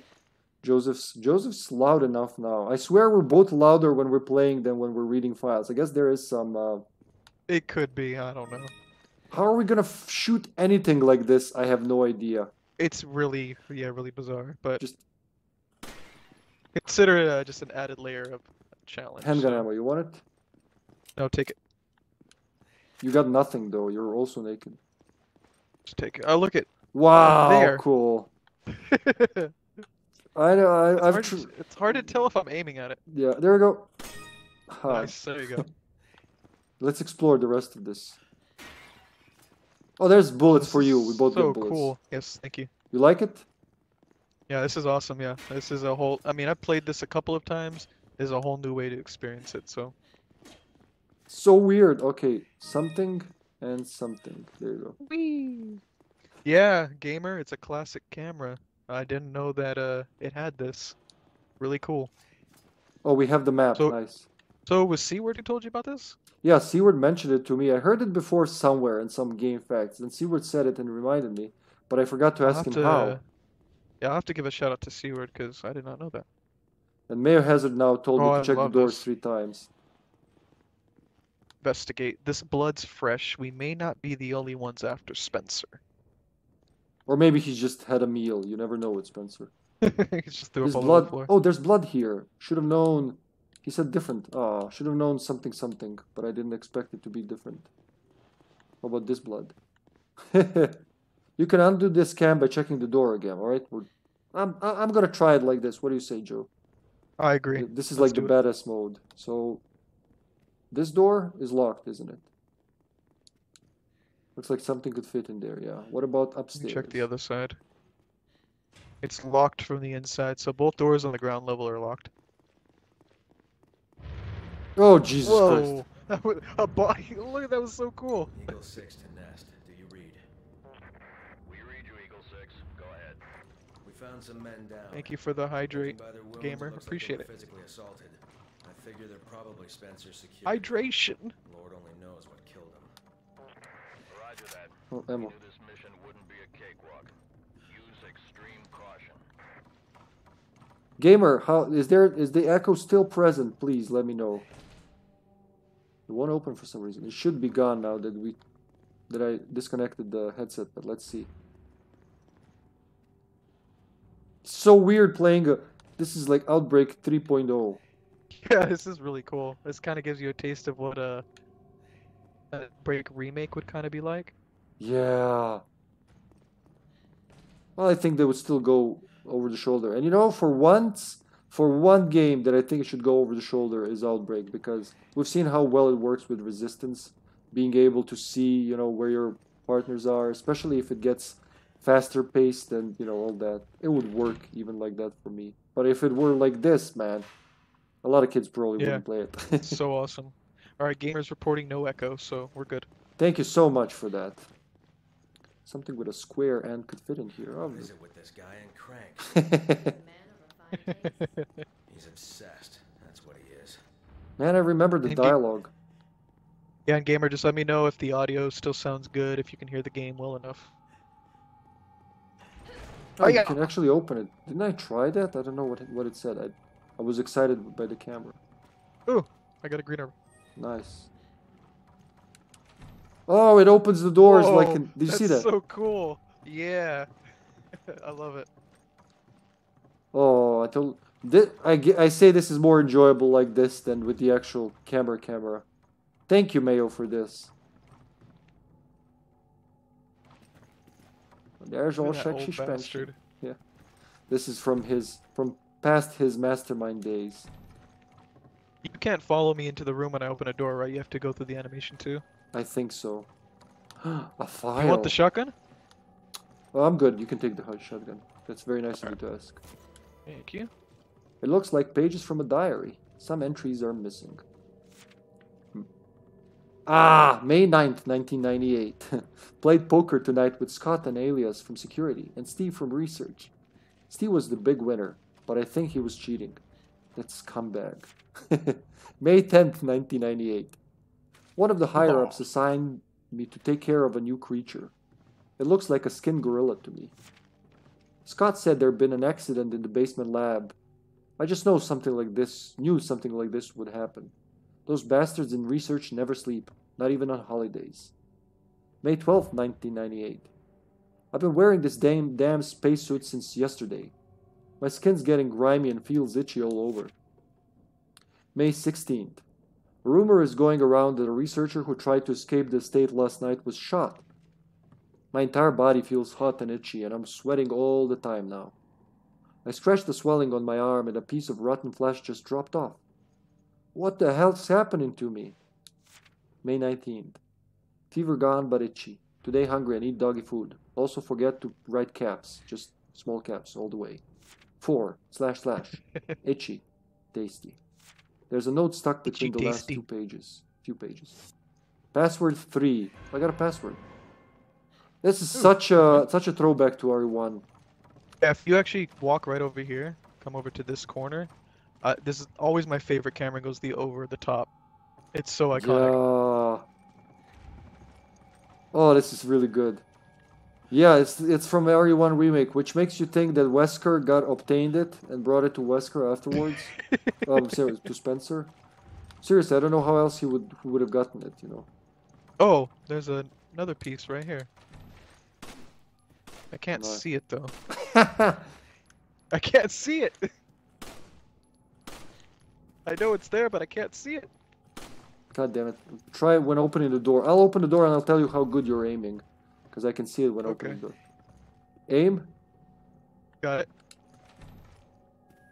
Oh shit! I can't see where you're aiming until I press through. This- Oh fuck yeah, that! this Just part's hard. I can't... there you go. Yeah, there you go.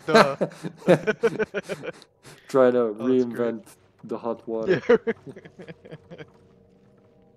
Oh, that's one password I got. All right. It's like the password from the first game for the elevator. Remember when you get it on the piece of paper? right. What a throwback! This I love, I love yeah, this. this is amazing. I wish this was like an option in this in the standard game, because I would probably play it more. Okay, I see you doing something coming. Sorry, I had to touch shit. No problem. fuck physics. Just fuck physics. Uh, Physics don't apply here. yeah. Oh, I see one of the holds things. the door for. Yes. You see it? Hold on. Um. No, I already went through the door. Where is it? All right, over here. I'll blast it in the main hole. I'll blast nothing with. Up. Oh, I found I found one in here. If I could shoot it. There it is. Got it. I almost there. Come on. There we go. Wow. oh, I got the um. I found the MP5. Do you want that? Sure. Why not? Thank you. We're gonna meet up. I think you're gonna unlock Oh, the door downstairs, man. so I'm gonna head downstairs. Oh, these camera angles. Yes, the dining room. Oh, that's so cool. Even with the thunder too, I feel like I'm in RE1. Or Yeah, RE Remake like that. specifically. This is amazing. Alrighty, uh, I Is there a think help? that's it. I don't see anything else. I have to jump down, so let me jump down into the dining room. Nice. Whee! Zdravo, Nebojša, zdravo, zdravo. I'm on the dining table. Yeah. That's where all this started. Hard to believe that was eight years Are we talking to the door? I guess I am getting older. You're not the only Eight years ago, so you're 21 now, huh? Alright, let me unlock the door for you. There you go, buddy. This is so cool. It just Yeah, upped the, awesome. the game in my, in my. I might have to switch aiming with the left stick because it makes more sense uh, with these classic controls. Another I file. think it's cool how uh, Jill and Chris have different knifing animations. Yours is more of a slash, and hers is more of like a stab. You want to read this file? Yeah, look at this. Mine is like it's. The, look at the size of this knife. Holy shit! You don't need a gun. Yeah, she's got a more smaller one, but yeah, she does see she's like quick jabs. Together we make one David King. Alright, I'll read the document. See. Patrick's Memoirs 1. For a time, it appeared as if Master Spencer would recover his former health, but fate was not so kind, and now he confines himself to his study for days on end. It has been ages since I've seen him take his meals in the dining hall. I have endeavored to prepare meals by his liking, and I bring them every day to the study. Unfortunately, he lacks the strength to eat anything but soup and other liquids. I cannot recall a time in the history of this household when the situation was as dire as now. In generations past, the Spencer estate was the nexus for only the most well-to-do European solicities. Now only a skeleton staff remains to look after a man who keeps himself in virtual seclusion at one of his many residences. Oh, hey, Gallo. Um, welcome to the stream. So good for you to, to drop in, my friend. My family's been in the Spencer household service since the time of his great grandfather. This rapid state of decline would have been unimaginable even just one generation prior. I remember fondly the days of my youth, but that seems like a lifetime ago now. It was about 50 years ago, back when my father was the head butler of the household. At that time, I was learning his duties in preparation to succeed him. There was always some chore errand that would keep me running around the house. I remember how Lord Ashford, another aristocrat from a storied family, and one of Master Spencer's schoolmates, Dr. Marcus, would find refuge from the summer heat at this villa. My father and I would accompany them and do our utmost to see that they wanted that they wanted for nothing. Okay? Perhaps because I was the youngest person there, they would take to teasing me, though more often than not they would treat me as one of them. I remember the time Lord Ashford gave me my first taste of brandy. It was on the second floor of the dining hall behind the stone statues lining the room. I'll never forget the maleficent scent where he opened the bottle, but those cherished times are only memories now. Uh, Ola Letty. Ola. Lord Ashford, Dr. Marcus, and of course my father have all already passed on. Only Master Spencer remains, and I'm afraid his days may be few. When Master Spencer dies, it will mark the end of his illustrious family as well as my family's service to his. For now, I can only wait the inevitable. There's a note stuck between the last few pages. Ah, password one. Nice, and it disappeared for me when you took it. That's excellent. Cool. I just want to mention something. I don't know if you noticed. It's Patrick's diary, and if you remember in Resistance, when Yeah. Spencer asked for slippers, Patrick, could you fetch my slippers for me? that's so that's so good from the Resistance team to include that. You know, as as Yeah, goofy as that game can get, you know, and it's obviously not canonical. It is still somehow canonical. That which is amazing. Hiya. We're gonna stab everything to find all the medallions. Someone was burning something here. oh, really? Where in the fireplace? It was the fireplace, yeah. I didn't even check the whole room. I was like, oh, file, that's it. Yeah, there's the fireplace. It's a little different oriented, which I like. Little. Wonder who started the fire. They have different comments on everything. That's cool. seems. We'll definitely want to check everything then. Yeah, this is this is our thing now, because we both love the details, the cutscenes, and the. Oh, this is great. Come in here. This camera angle. Oh. this is glorious. the mini map does help, though. I won't lie. Oh, this is just the bathroom. With a red herb. You got a green herb? Mix them up. I have a green, so I'll take it. I'll take a piss. Nothing useful here. This looks like it, the. this looks like the bathroom in. Uh, was it Bitores? Bitores Mendez' house? One of the houses from think Mario so. 4. You know when you find uh, Ganado taking a piss? Oh yeah, yeah. I think it's in that one. In the remake, you you go into a, a same room. There's a Ganado that's in there. He attacks you when you walk into the bathroom. Nice. Oh, Patrick's memoirs too. I cannot stop thinking about the screams of those poor souls imprisoned in the basement. I administered the virus to all of them as per Master Spencer's instructions one week ago. Whatever they've become now, they are no longer human. I have assisted with multiple experiments at Master Spencer's behest. I do not know what use a simple butler not schooled in the science such as myself can be but I should be proud that the Master trusts me with this important work. He usually has nothing but contempt or distrust for those around him. However, I cannot help but feel a disconnect between how I think I should feel and my actual mental state. On the one hand, I am filled with joy at the chance to assist the Master in any way I can. On the other, I feel as if I am losing a bit of my soul with each experiment I assist with. The only way I can preserve my mental faculties is by taking time off, or by trying to divorce myself from all emotion. Whichever the case, I must act and not question the master. Duty and honor, that is what is at stake. For generations, my family has been loyal in loyal service to the Spencer household. I will not betray my duties, and I will serve Master Spencer until the end. I have dedicated my life, to serving him and there is no turning my back on that. It is time to check on the test subjects and report on their current condition to Master Spencer. I will carry out my duties, and I will do so honorably. Oh, no, no, okay, no filing that one. No password. But there is a piano. Man, the guy really likes his own picture. A portrait of Spencer. The guy is quite the e- egomaniac. What, is, what does Jill say to this? All right. Mr. Spencer. Let's see what it says. A picture of Spencer. Too bad there's no hidden switches. That's great. Wonderful. What about the piano? Moonlight Sonata. I remember the last time I played. Oh, That's can still cool. play it? You mean right now? I don't know. It's been a while.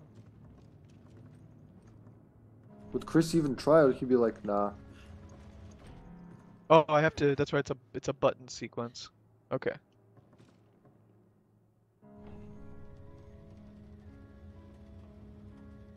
I didn't know that. I never played Jill in this. Yeah, it just brings up uh, different buttons and you just press them.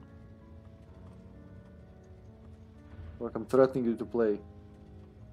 No, don't shoot. Yeah, I'm almost done.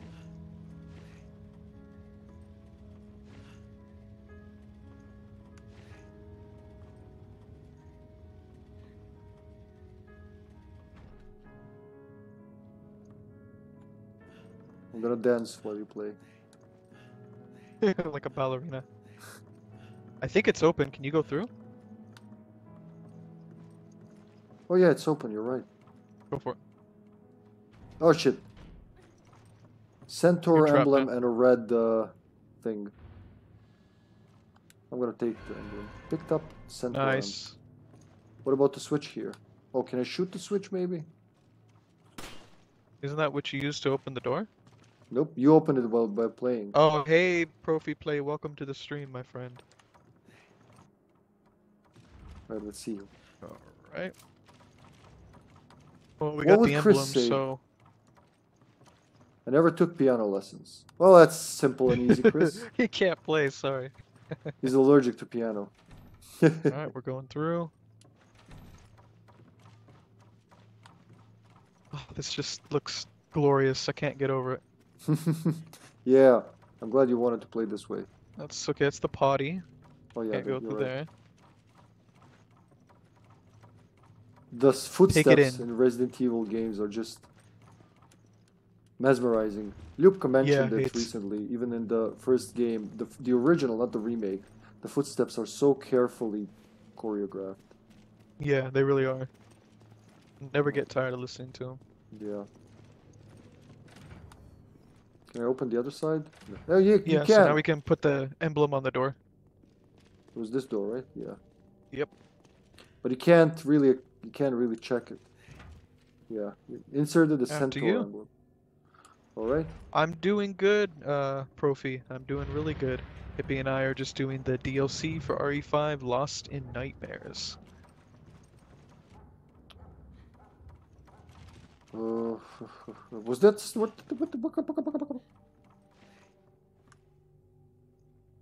You see another piece? Mm, I thought I saw something, but it was just in my imagination.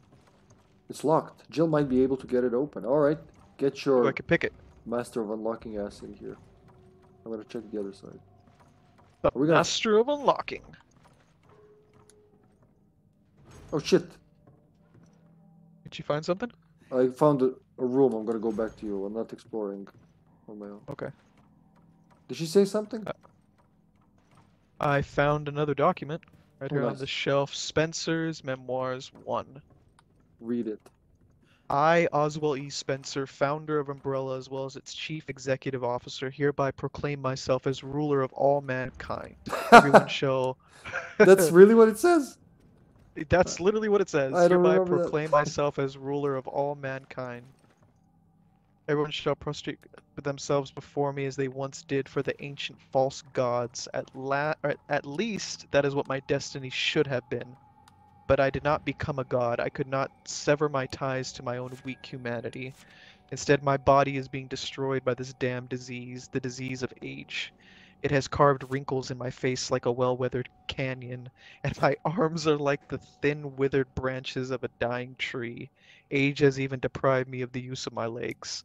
The only chance I'll ever have of becoming a god and shaping humanity's destiny is to stop this disease from continuing to ravage my body. I believe there's a saying about realizing the joys of life when one is at death's doorstep. Sayings like that are for the weak who are going to die.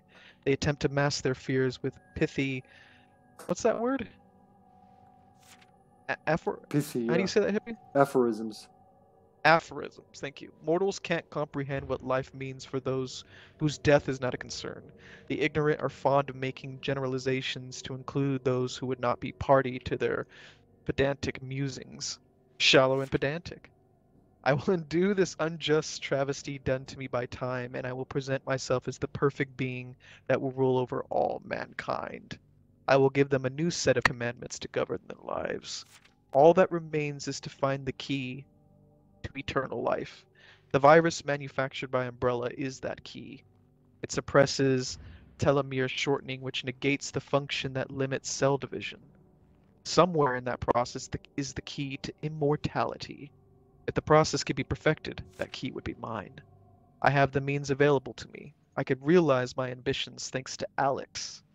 I lost much in human capital following Umbrella's bankruptcy, but I still have Alex, the best and brightest of them all and the last of my children. I have faith that if anyone can find a cure for the ailment of time that keeps me from assuming my role as the head of mankind, it is Alex. Alex will find a way. That that's always really cool that they mention Alex Wesker Yeah, I totally. game. uh, I skipped that because she meant nothing to me back then. You know. Come on. By the way, that's uh, completely true. Uh, completely true. That's suspected to be true. Telomeres, they're like the little tail ends of the DNA strands.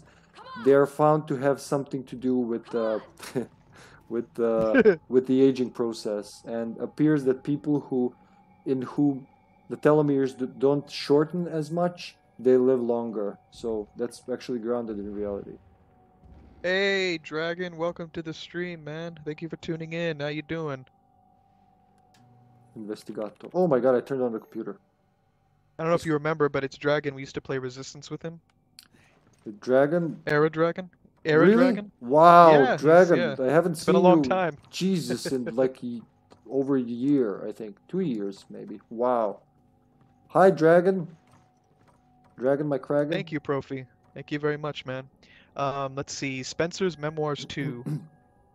I've done everything Alex has asked of me. Alex's ingenuity for far surpasses those of normal people. We wait for the appropriate time, gather the necessary materials, and Alex continues to keep the operation running smoothly. Most children are held back by the limits of their own intellect, but not so with Alex. I've never witnessed anyone so adept at absorbing the talents of others simply by observing them. I could not be more pleased. Alex displays superior qualities to everyone else. Sorry, sorry. I since- provided since- everything. Since Dragon's here, you gotta say that like Spencer. uh, I could not be more pleased. I could not be more pleased. yes. I can't do it as well as he does. But Yeah, he just really nails it. I am pleased. Go on, my friend.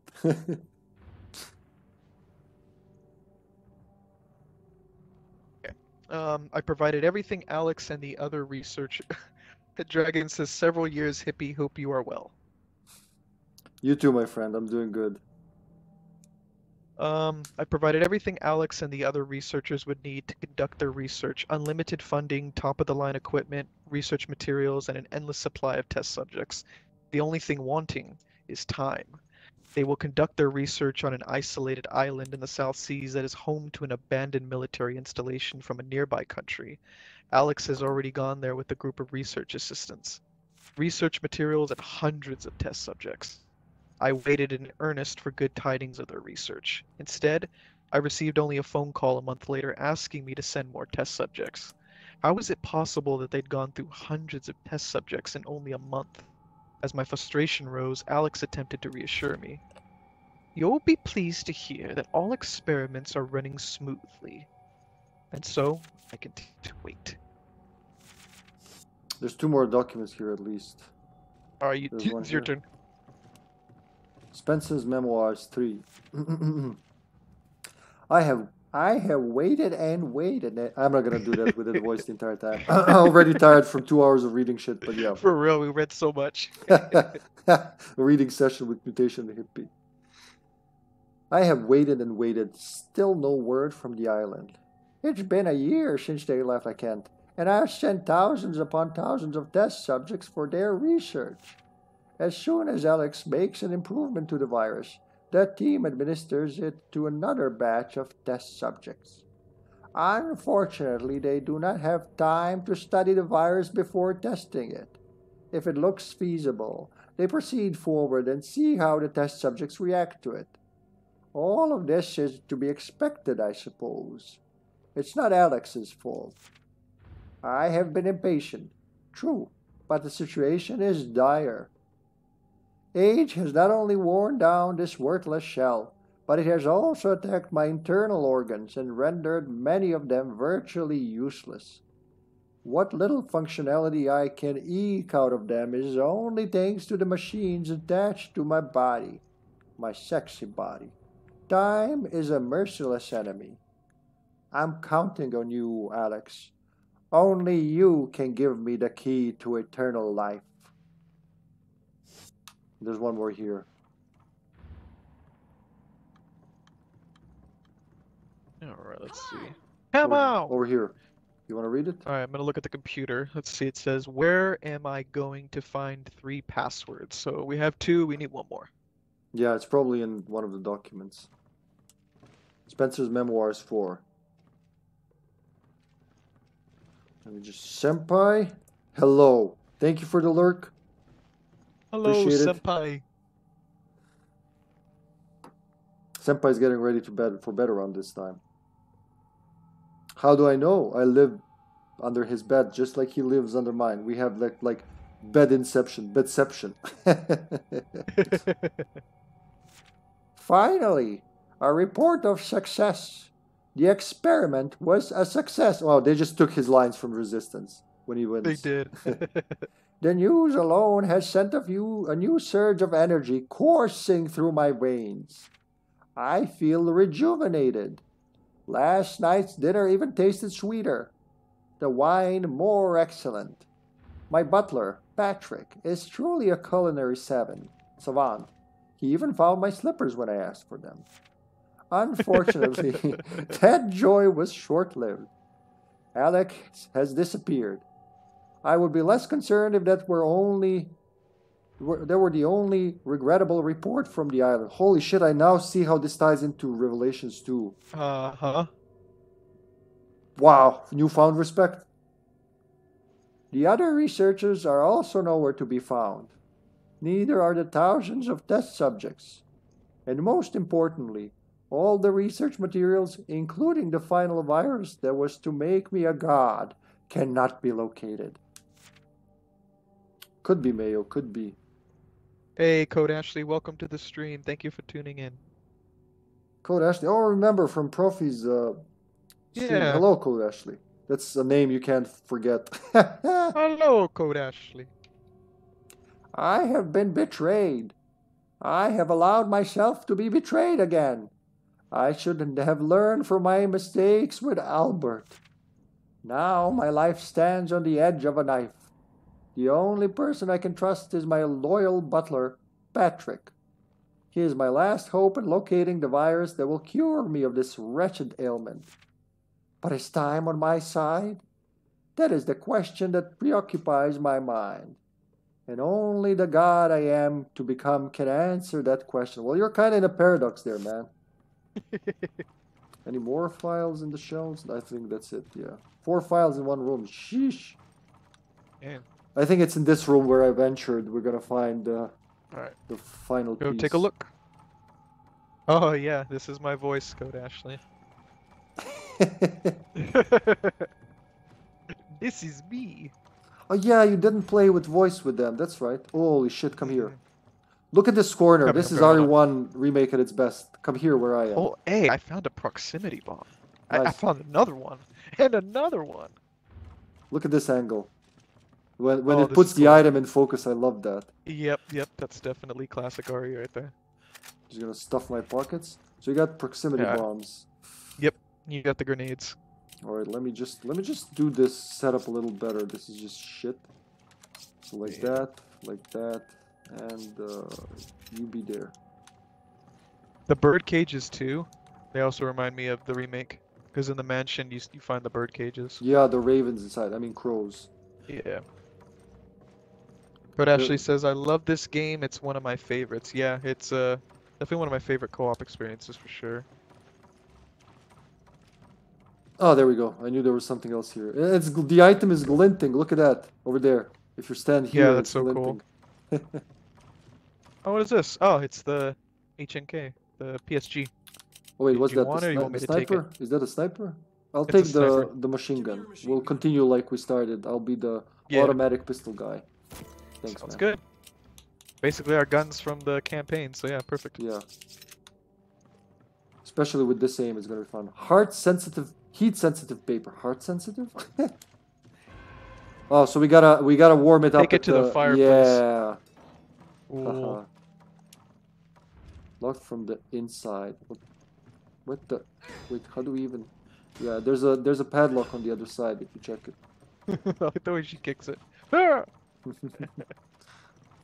Wait, but this little hole here, we've been here. Yep. This is amazing. Okay. What This about? awesome.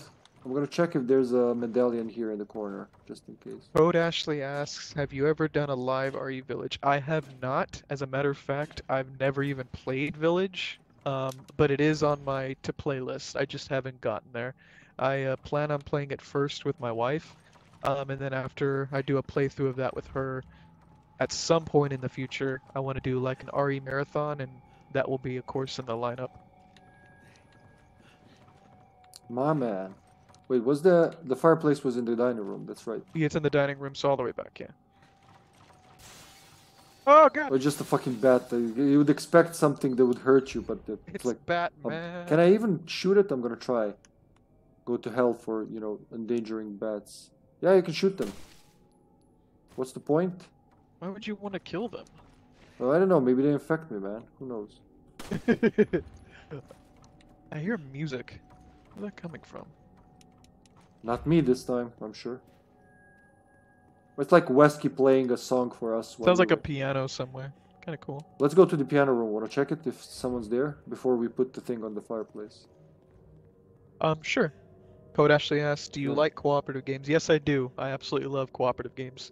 It's the best way to play a lot of games. It's just having an, a shared experience with somebody else. Um, it's uh, it's unbeatable.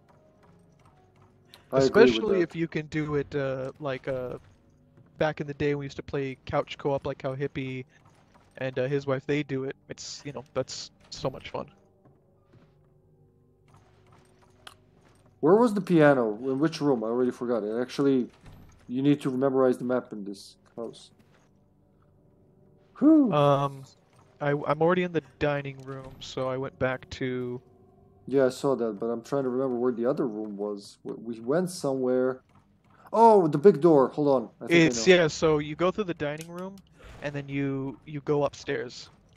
I'm already in the room, but nobody's in here. Electronic locks. I don't know where that I don't know where that jingle's coming from. It's somewhere, but it's cool.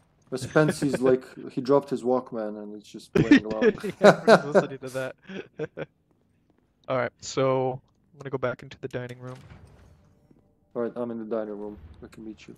Imagine more fixed camera games like this. Burn so I'm paper. gonna burn the paper. We're both doing it. I'm inside you, Jill. That sounds That's what, bad. how are we doing that? oh, we that's both look so at it. weird. That's great. Password two. We got all three. All right, let's go type them into that computer device. I've never used the keyboard, so you got to do it, yeah, sure. Imagine that. All right, here we go. I feel like right at home with this camera and these controls, honestly. Yeah, it's very com like very comfortable.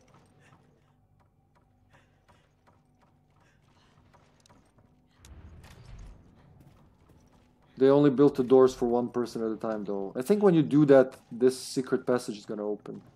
Yes. Let me go ahead and get to the computer. Uh, enter passwords. Umbrella. Patrick's Memoirs 3.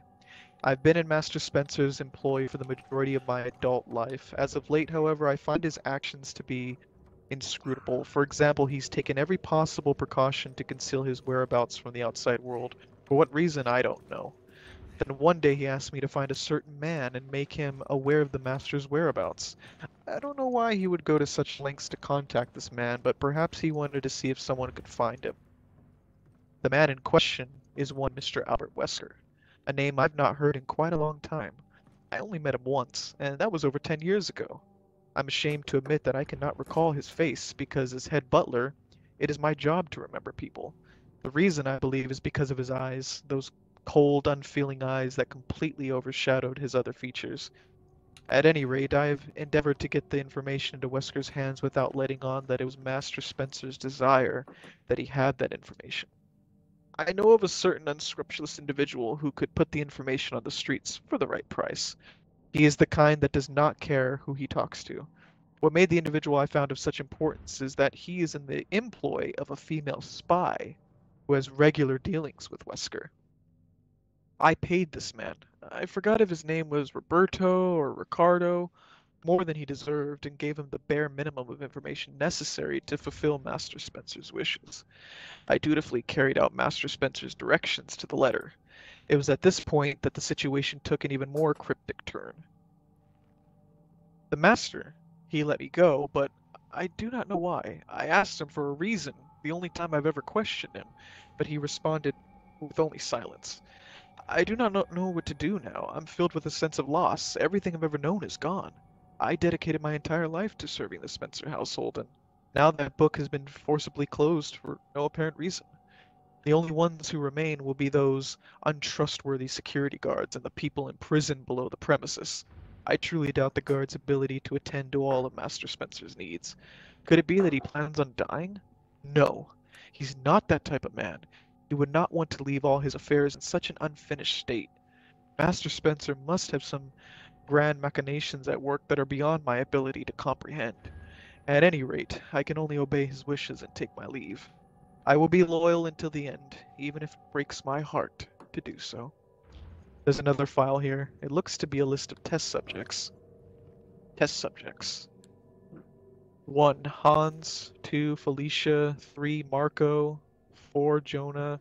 5. Irma. 6. Ken. 7. Laura. 8. William. 9. Hiro. 10, Derek, 11, Miles, and I think 12 and 13, of course, is Alex and Alex Wesker and Albert Wesker. so cool. Oh, the Wesker children. So huh? those are the, the 13 Wesker children, right? Scooby Doo and the 13 Wesker children. I believe so. Okay. The number Love. of candidates has been limited to the 13 individuals listed above. Ah. Oh god. Checkpoint. Oh, now you can read that. I couldn't read that until you finished. That's so weird. Oh, Profi, thank you so much for the sub, man. I really appreciate it. That's awesome. Woo woo. Thank you, my friend. Thank you very much. Are you pleased? Thank you very much. Oh shit! Why did I have to go in first? How do I not become a Jill sandwich? What the fuck do I do? I should shoot that thing. Crank. We gotta shut it off. I got the square crank. Is that gonna help me? What the? What do I do? Why do I find myself in these situations? I don't see anything to. Handgun ammo. Oh. I think I gotta shoot this, and you gotta set me free from the other side. That's the door we couldn't open. Remember? So I think you gotta run around to the other door. Oh god, I'm like running in a circle here. Yeah, look at the minimap. RB, R1. Yeah, that's the. You're going the right way. The spikes are There close. Oh, thank you. And there's a medallion here. Mayo says RE1 remake sold Run, over 10 million copies with re-releases. I didn't know that. That's impressive. Why the fuck do we get more over the shoulder? No, no, no, no. I remember. I, I meant why don't we get more Where's it at? static There it camera is. REs? Boom. Did you get it?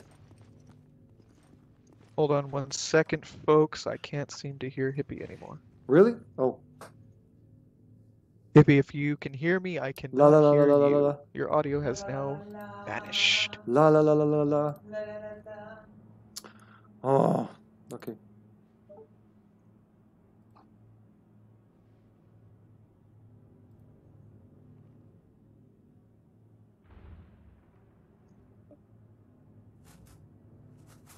Testing. There we go. There we go. Now I can hear you. What happened? Yeah, I muted myself, but it wouldn't unmute you. It's a bug with the. So you saved me with all this. I was screaming and saying shit. You didn't hear any of that. That's amazing. It was like pull the lever, the door. I o- opened the door on the other side, and that's that's No a partner you put your life in. Yeah, you trusted me. We delivered. Um, Profi, yeah, go ahead. If you notice that there's any bots, feel free to um, block them. I really appreciate it. Thank you. So Mayo said, uh, uh, you probably didn't hear that. Uh, Mayo said RE1 remake sold over 10 million copies with re-releases, which really begs the question: Why don't we get more static camera REs? You know, obviously people like playing that shit. I know I have RE1 remake for the GameCube, for the Xbox 360, and for Xbox One. So that's like three copies of that game. Even though I played the GameCube most, just to show love and support, you know. But uh, you know, it makes no sense. So what is it that you picked up from that wall? The crank. That was the crank. The crank, right? Okay. Yeah, but there's a medallion Alright. here that I can't see now. I could see it with the other uh, camera angle. It's somewhere up there. Or it was right under the thing. Oh darn it! We're never gonna find it this way. we can't see it. If we had a bazooka, if we could just blow up the entire ceiling. yeah. Which the the things seem to be some kind of currency here.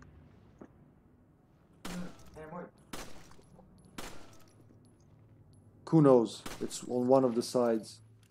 Never gonna find it now. Alright, well, that's okay. Because in the cutscene you could see it right underneath this thing, but you know. Alright, so probably- we know we need to use the crank underneath the stairs in the main hall, so Yeah. we'll go ahead and do that.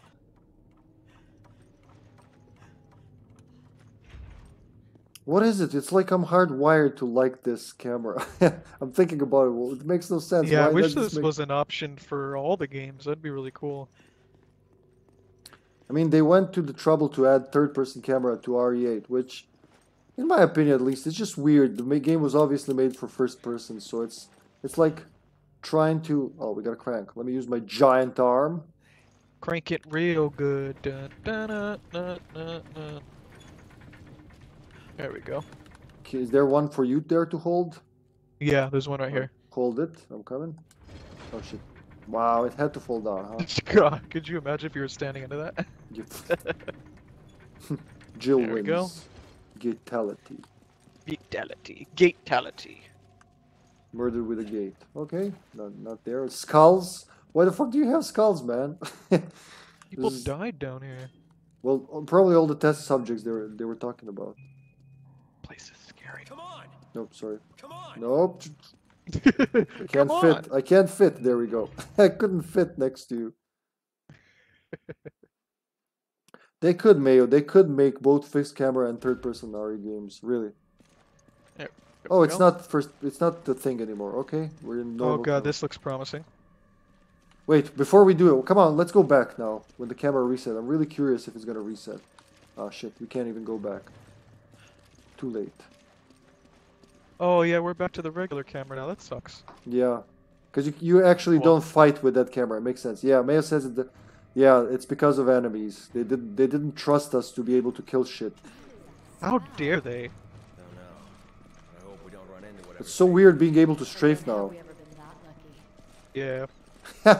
Oh, like cool. That, that was a nice little, like, nice Yeah. little Easter egg. So Yeah. got to enjoy it for a little bit. Alright, you're the tough man. After you. I'm the going up ahead, soaking the damage and dying man. That's right. That's my job in this game. So yesterday, I don't know. Ghost. Oh, shotgun shells over here. Yesterday, I don't Ooh, know if you. you- how much you saw of Baldur's Gate, but you know, playing the sorceress, which is paper flimsy, and I never played anything but the fighter. With Sasha there, being able to tank all the damage, they still kept aggroing me. All I did for most of the session was just hold, held the shield and let her. That's that's where they kept the test subjects. No, it's kind of like when we played the story. Everything wanted to kill Chris. Yeah, like they totally they go around you to get to me. That's what they did yesterday, and I thought maybe I just did something wrong in these games. it's more than luck, bad luck. What is that? Awesome. Thank you, Profi. I appreciate you doing that for me, my friend. I don't know what was going on here, but I wonder how many innocent ah darn it innocent people lost their lives in these horrible experiments. rifle ammo. Ooh, cool. For me, it says I don't know what was going on here, but it was obviously quite barbaric. What about here? Okay. Some, some shit's going come on, here. Hippy. Can you check this? Sure. I guess this is where they kept their test subjects. Mine says it looks like a holding area for test subjects. Okay. I'm gonna go ahead and uh, get He's bonked in the lurking. head. He's lurking. Oh, is that that's an item, isn't it? Oh, thanks, love. I forgot what the alarm was was for. I would just turn it off. An item where I see a what looks like a light reflection.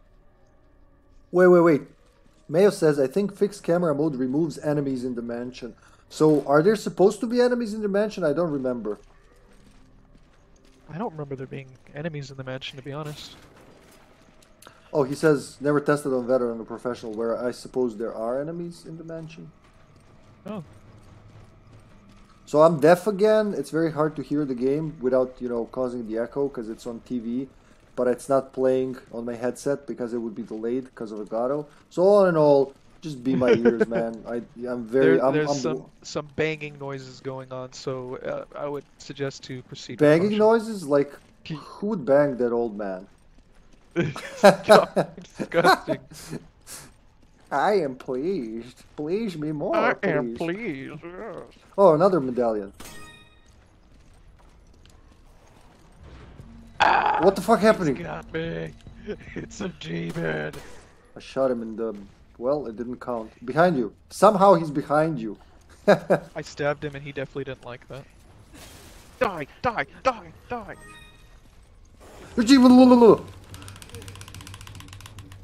Oh. Man, they're malnourished. I always feel bad for killing them. Ooh, I guess nobody ooh. fed them in a while. Oh, we have a very large enemy downstairs right there. Alright, I'm coming. He just turned the corner. Be careful, he's down there. I'm gonna take some ammo. I am. That guy's gonna jump up as he. Be ready to save me. Hacha! Oh, that, that was underwhelming. Let me add some volume. If there's some echo in the Oh god. in the in the stream, guys, let me know. Oh my god. What the fuck is that even? It's a big butter dude. Oh, is that the butler? Oh. Oh, I'm cornered. This is not a good place to go. Woohoo! Of God. Let's go find a more open space. We can we can loop him upstairs, I think. Yeah, bravo. I was gonna say use the mine, Ah. but I'm throwing a grenade. Run. Whoa. Uppercut. Oh, I think we can connect hits on him, huh? Oh, what the hell? Oh, back off. Did his butt explode? He's dead. Nice, he's dead. Alright. So all it took was a mine, a grenade, and a shit ton of. Oh, his weak point's definitely on his back where the eye is, so. Oh, he had an eye. I didn't even see that. Yeah. Hold on, hold on. Gave him a nice, gave him a nice little sweet kick. Mayo says there are enemies in Mansion on Veteran and Professional. Uh, you could try it next time. You know, maybe we will. With I'm, I'm very confident with Joseph, especially if by that time I somehow make it that I can hear the game. You're That be- They're called blob. These co- really they're called blobs. There's two of these in the Mansion on Veteran, three on Professional. The blob. we just There's wow another one upstairs. blob. Yeah, I can hear him. He's walking upstairs. All right, I'm gonna go up ahead. Yep, he's gonna jump. I think. I'm gonna throw a grenade at him. Mother of Oh, God. uh, aye, aye, ah, shit. Aye, aye, Captain. Oh, you can shoot the eye from the front. Here, I'm gonna place a angle. little mine here. Yeah. Go, Hippy, go. I'll be ready to shoot his winky eye. What's up? Ooh! Can we can we combo him? No. Straight. Oh. Nice. Aye. Shit, shit, shit, shit, shit. I'm stuck. I'm stuck. Oh. We got stuck on each other. Oh, it killed oh me. wow! It one shot you. One one Oh, one swung you. It did. That's a one Right, shot. again, watch out, he's gonna jump. Ah! I guess the pickaxe of power really hurts. Apparently so. We can shoot the eye at the angle. Let's let's use that to our. Uh... Mother of a god. The scariest enemy is being getting stuck on your partner. Run, run, run, run, run! Wee! We can loop him here, can we? Yeah, we can loop him here. Punch him Back in the off, face. ugly!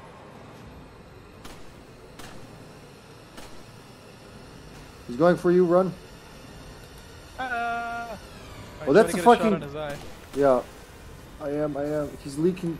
He's leaking bio weapon juice. He's leaking goo. Woo! He's turning. Your turn. Oh,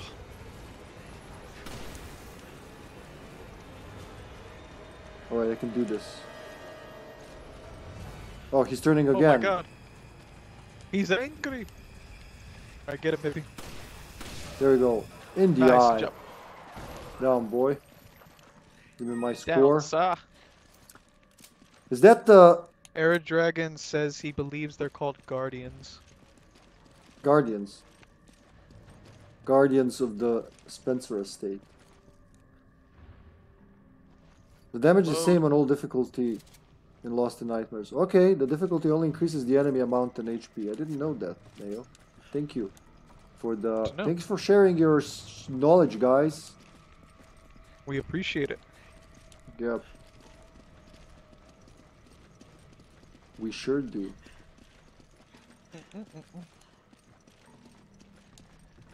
Okay, well, there's two barrels there. If you can lift me up there, that'd be great. Yeah, I can. That's that's the thing we saw earlier. And there's a wait. There's this. Can you open the chest first? Because I have to What hold chest? it. Uh, where we were. I'm opening the the lattice. Sure. The whatever. Arid Dragon says, or maybe it's Patrick. Maybe it's Patrick. Yeah, and his little baby clones. Uh, we have a key. Gel key. Nice. Move away. Drop in the spiky thing. Alright, let me throw you up there like you're my Pokemon. Pokemon. Hiya, hiya. Bullets, bullets. nice. Oh, we're really good with bullets. I got. Do I have something that belongs to you? No. You got shotgun and uh, rifle, so we're gonna be okay. All right. Use key. Okay, I believe this key is yeah. Okay, you're right at the door. I somehow have it, even though you got it. Geronimo. Going down. There's poop water here. Ah, Disgusting. where? I hear crazy music. I don't see where it's coming from. Uh, right across this way. I see him. Okay, let me try. Nice. You can snipe him from here, maybe. Oh, never mind. He's coming. Run. Nice. I'll shoot the eye. Nice. You sent him back two generations.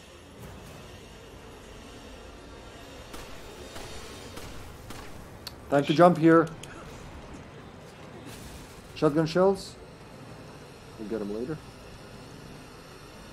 Let me know if there's anywhere to go from there. You can still snipe him in the eye from here. Before he comes. Man, he can really jump. Alright.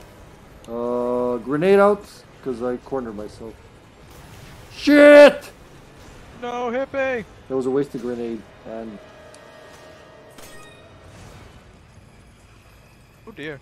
is he coming to your way? I'm gonna I'm gonna shoot him in the back. No, he's coming my way now. He's he's coming your way. He's really changing his mind often. Yeah, he's dead. right. Good job. Damn.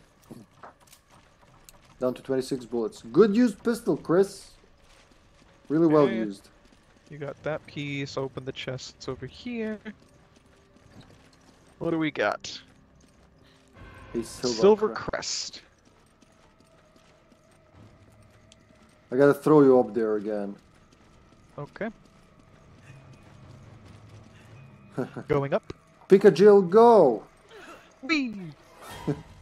Oh, that's music. Oh god, another one. Can you snipe him? Shit, he's coming down, Oh, Steve. Ah, Run! I'm gonna try to take his attention. Well, whoever takes his attention, the other person just shoot him in the back, I guess. It, he was he's made for two partner people to kill. Alright, he's aggro to me. I'm coming behind him.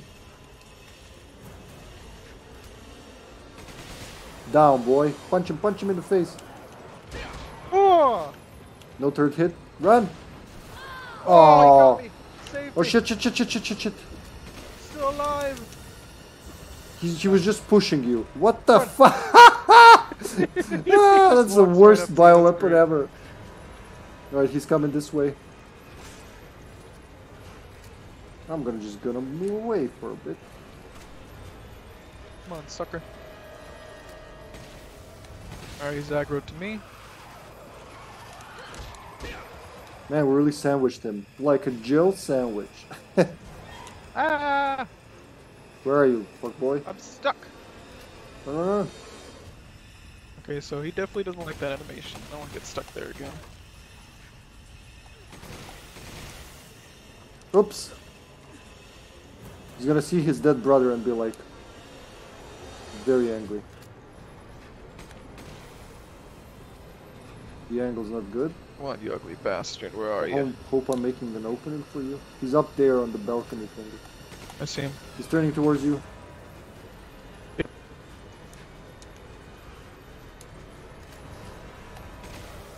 Down. Down, boy. Well, good start. Job. Tanky more classic enemies are good. Insert slate.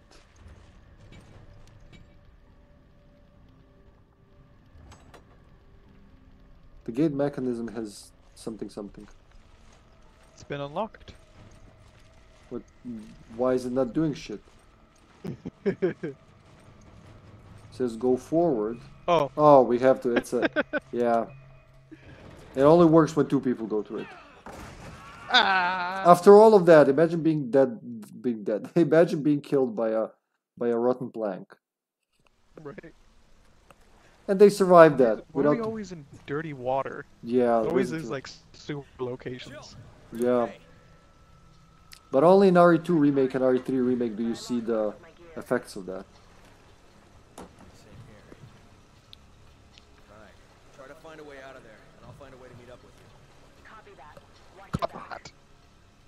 The headset suddenly feels very uncomfortable for some reason. Is it hurting your head? Yeah, my my ears actually. Oh no. which is. Oh god, we're naked. We have no weapons. Wait, what? W- Why What? did we lose all our shit in the fall? How don't the fuck are we even like prestige agents this incompetent? Where where where are they? If they we fell here, where could I our weapons have gone? You know, Thank you for the treat, gamer. I appreciate it. Very nice. I can't un- I can't unequip the grenades. Oh shit. Looks like something could fit into this green block. I forgot how this works. I only make it. be- played this twice. Sasha, we played this, didn't we? I remember very little. That's that's a sound I don't like hearing. Oh, mother of God. Where are you? I'm coming for you. Oh Jesus Christ, the zombie! Bang. We have we have to knife them to death.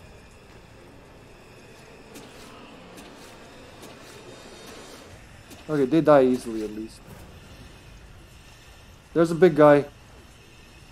He's chasing you. We gotta find something here. Something could fit in here. Survive, you have to survive. Oh shit, he's coming for me.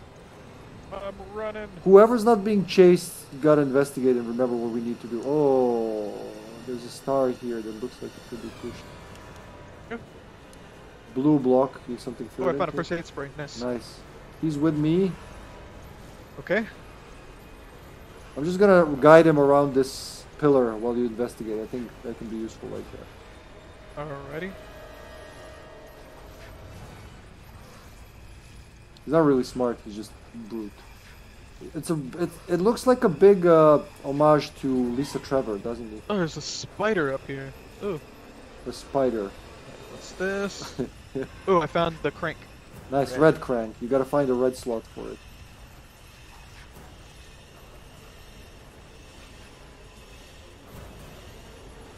How do we win the war on bioterrorism? Easy. They weren't smart. We just led them around the pillar and they were useless. Alright, Hippy, I'm putting in the crank. You Right, gotta lure him over here so I can crush him. Let me see where you are. Okay, I see you. Alright, I'm coming. But don't crush me. I'm coming under the thing. Come here, ugly. No, Hey. this way. He's going the other way. He's going for you. Okay, I, got- I, I got him. I got him. I got him. He's not really smart. Okay, he's coming. Alright, put, put, put, put, put. Oh, good. Oh! Well, that's a one-use contraption. We both got a flash grenade, huh? Climb up. Sun Eater nice. Serpent Shard. Cool. Let's explore some more before we are rudely interrupted again. Hey gamer, is the audio still really good? How we how we looking? Hey, gamer. We gotta, you gotta do it with John's voice. We need John in here. Hey gamer. I can't do his voice, man. He's he's three years younger than me, and his voice sounds about ten years older, but like in a good way. There we go. What the hell was that noise? I hear something. What did you do? I heard something, some shit. I oh, put another in the- another asshole. I put in the shard. We need, I think, the blue crank now. All right, you keep searching for that. The asshole's going to the long hallway. So far, he doesn't see any of us. I can see him on the map somehow. The Guardian of Ass. I'm just gonna follow him slowly, just so I see him on the map. Where can I take? Let me see. He's going towards the green uh, thing. Oh, you can hide on the walls. Where do you hide at? Well, just like off wall, like when we're shooting with the Majini, you know. Gotcha. Oh, okay. This is open now. I go through here. I found the purple crank. Or violet crank, whatever. Oh, that's the one. thought it was blue, but I guess it's purple. Oh, Jesus Christ! Not a good time, sir! Coming, coming. Watch out, he's somewhere close. Alright, he doesn't see us. Where's the thing? Did we kill it? Fuck it, let's get out of here. Okay. I think if we walk, it doesn't hear us as well. See, this would be way more fun for the base game. Isn't this already more fun than This the base game? This is amazing. Yeah. I actually got jump scared twice. Can't say This that is green. for once in the. I see the purple one. There it is. Violet. I'm sorry. Violet. He's on the other side. So oh, there's two of them, Joe. There's two of them. One on each side. So we gotta be careful. Alrighty. Let's not get cornered. There's the purple nurple. Now I just gotta find the crank slot. We can go up here. Oh, is it up there? The Oh, crank nice. slot? Don't know. Found some boxes. Holy shit, I didn't see the purple. Ah, it's a snake. Ow. Watch out, one of the guys is nearby. You, you can actually hide from them, which is Oh, good. I think the slot's over here. Yeah, it's right over here. Is it purple? There, he look, look out! He just jumped. Oh shit, I see him.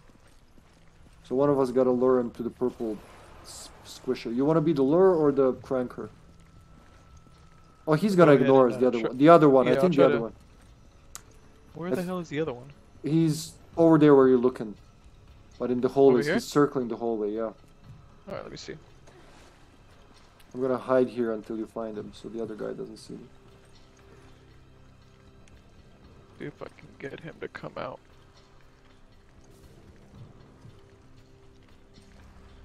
The other guy's coming here. I hope they can't hear us. Come on, You're purple blue. nurple warrior. All right, Okay, he's coming. Lift up the thing. I will. I hope the other one doesn't notice me. Come on. Come on. He doesn't see me. All right, I'm lifting. I'm lifting. Keep move. Keep moving.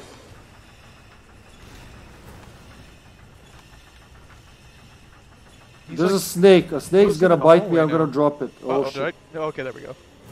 Watch out. I don't want to kill Whoa, you. what a Th- There's a snake. What is, why is there a snake? You good? I Where the hell did he go? He's right. Hold on, hold on. He's he's lagging for some reason. He's like, Yeah, I see it. I see it too on the map. I see him teleporting. Oh, he's yeah, he's teleported. There's something wrong with him. he's leg switching, man. Yeah, he really is. Oh, you're teleporting now. I think there's something wrong with the network. Okay, no, he's he's coming. He's coming. All right, keep moving. Keep moving. Shit. Wow, he really teleported. Let it go. Let it go. Release it. Nice. Yeah, he was like freaking out. He was like glitching in the hallway. It was weird. There we go. Cool. All right. Well, Mayo says there's something wrong with Xbox right now, so I'm hoping it's that and not us. Oh, the other guy is just underneath me. Be, be careful. Shit, have- I see him. I have no weapons. Where's that snake? I want to kill the snake. Right, they're just circling. Until you disturb them, they just aimlessly circle. Where's the snake now? When I'm free, no? oh, there it is. Come here, snake. Break these boxes. Ah, I killed it. State spray. Another snake. They drop eggs. I'm gonna be Crocodile Dundee, the snake hunter. Oh, this one didn't drop shit. I'm gonna investigate some more. Hopefully find uh, we find one of the cranks. Okay. Only one guy left, so that's good. I put Checkpoint. in the next Checkpoint. piece. I think I found it. Yep, there we go, blue crank. I just need the cool. blue slot. All right, I'm over here at the blue lift. It's on the ground level, so What about the slot? Is the slot near? yeah, it's on the it's on the ground. Hold on. I'm just I'm right underneath. Oh, I the- I was able to put in the crank. That's right. I get it too. Nice. Okay. Well, I think he's going your way. He's right under. You're Ah! You don't see him. Jump down! Jump down! I'm gonna go your way. All right, where are you at, Hippy? I don't have a visual. okay. I look at the map. He's. I'm. I'm taunting the guy. All right. I'm coming your way. He's coming your way too. Where's the slot? Okay. You got It's the crank right in? here, but this one's kind of tricky because it's on this side. You got to lead him around. Okay, I will. I will. Whoever he follows, I'm going back for him because he they, they give up after a while. The music You tells me when he actually up there he is. The music tells me when he's actually chasing, but you gotta keep an eye contact with him. Yes, got to lead him down through this hallway probably, I and will. then circle around. Uh, whoever gets to the crank, well, come back, bitch. He just ignores you after a while. I'm here. There you go. You can yeah, just lead him down that hallway if you can. He gives up once you've quickly. Is he giving up? Yeah, he just keeps giving up. And the music goes whoop, and then I. I move. Nope, this is the limit of his chase, I guess. Okay.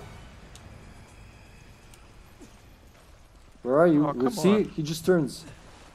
Alright, we'll try this differently. See, Either one of Come on, this us, just chase anyone. Come on, Look what. this way. Come on, come on. Come on, you gotta move. Come on.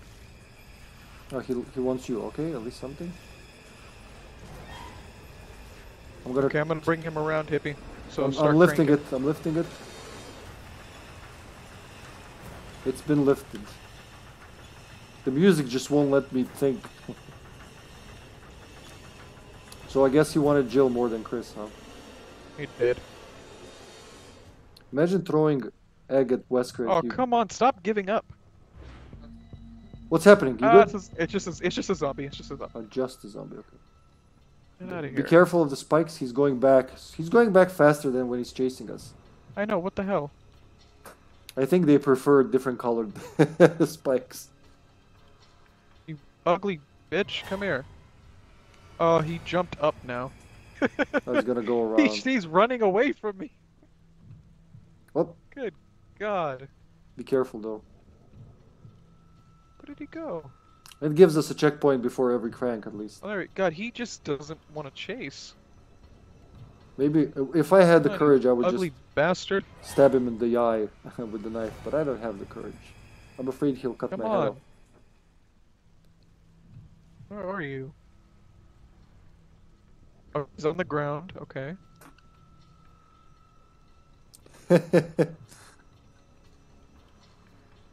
my arms are not getting tired somehow from holding this crank.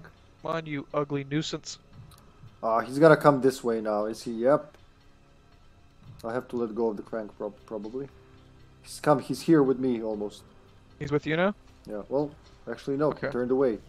So we God, gotta we gotta he's- guide him this way. I'm letting go of the crank. He's Don't go so annoying. He doesn't want. He doesn't want to play.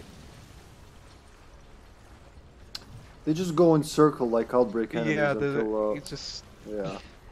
He has no sense of where he's going. It's like chasing Thanatos all over again. What the fuck did you go, boy? Is there something good there? What is it, boy? What did you find there? Where did you go? He's far away. Maybe we use the green one, right? Green, purple, blue, Yeah, we're on the last one. red. Well, there's isn't there one more? I we used three, two. This three. is the last one. There's still so there's red, violet, blue, and green. So we must be missing one. Maybe he's programmed to be at one or other. There he is. He's chasing me. Well, I, I heard him. his his his Ah, it's team. that zombie again.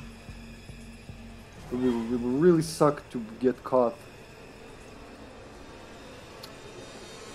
There he is. Alright, keep Chase- trying to lure. I'm gonna kill this zombie in this hallway. No, he just ignores. I don't think that's his section. We gotta find Come the red Jill. one for him, probably. Oh my god. Right, I'm gonna keep keep him busy here until you come come here. Okay. Apparently Jill has a really hard time stabbing the zombie. Okay, forget it. She's stabbing like She's Valerie. struggling to do it. Yeah, she's just. It's. Can you get the crank soon? describe it. All right, I'm here. Where is he? There he is. I'm looking at the map, so I'm gonna lure him away from you. Yeah, go Lift ahead, it. do it. Lift it. Lift it. Oh, never mind. Don't lift it. Sir, Okay, he's still aggroed on you. that's good. We want that. Oh, he's coming back. Oh my god. I'm pretty sure we gotta find the, the red one or something. Okay, he's he's following me, Hippy. Get ready to get to the crank. Get into the crank. Oh, turning the crank. So keep close to him because he's he, he'll he'll lose you easily. Yes, bravo, bravo. Come on, bitch. I see you. I see you. All right, get out of there. Nice one. That- that- Yeah! wow, this was like challenging on a completely different level. Yeah, just the AI would not stay with us, but He just goes back to his patrol. Nice. So one more should be left, unless I miss some. On veteran and higher, there's four blobs, and all four is on map, not one by one like on amateur or normal. Okay. So we had one, then we had two. I'm still think. Well, there's no fourth one on this one, huh? that is it. Yeah, we're done. Oh, nice. Okay. So the fourth one is actually the fourth crank is only for higher difficulties. Gotcha. Before we leave, is there anything here worth looking at, like the medallions? Every or- area I could go through, I tried knifing all the boxes, picking up whatever I can. Nice. What about this light? Oh, yeah, I have no gun. That's right. We have no guns. yeah, we have no guns. It's so weird not having guns in over-the-shoulder REs. Dun, dun.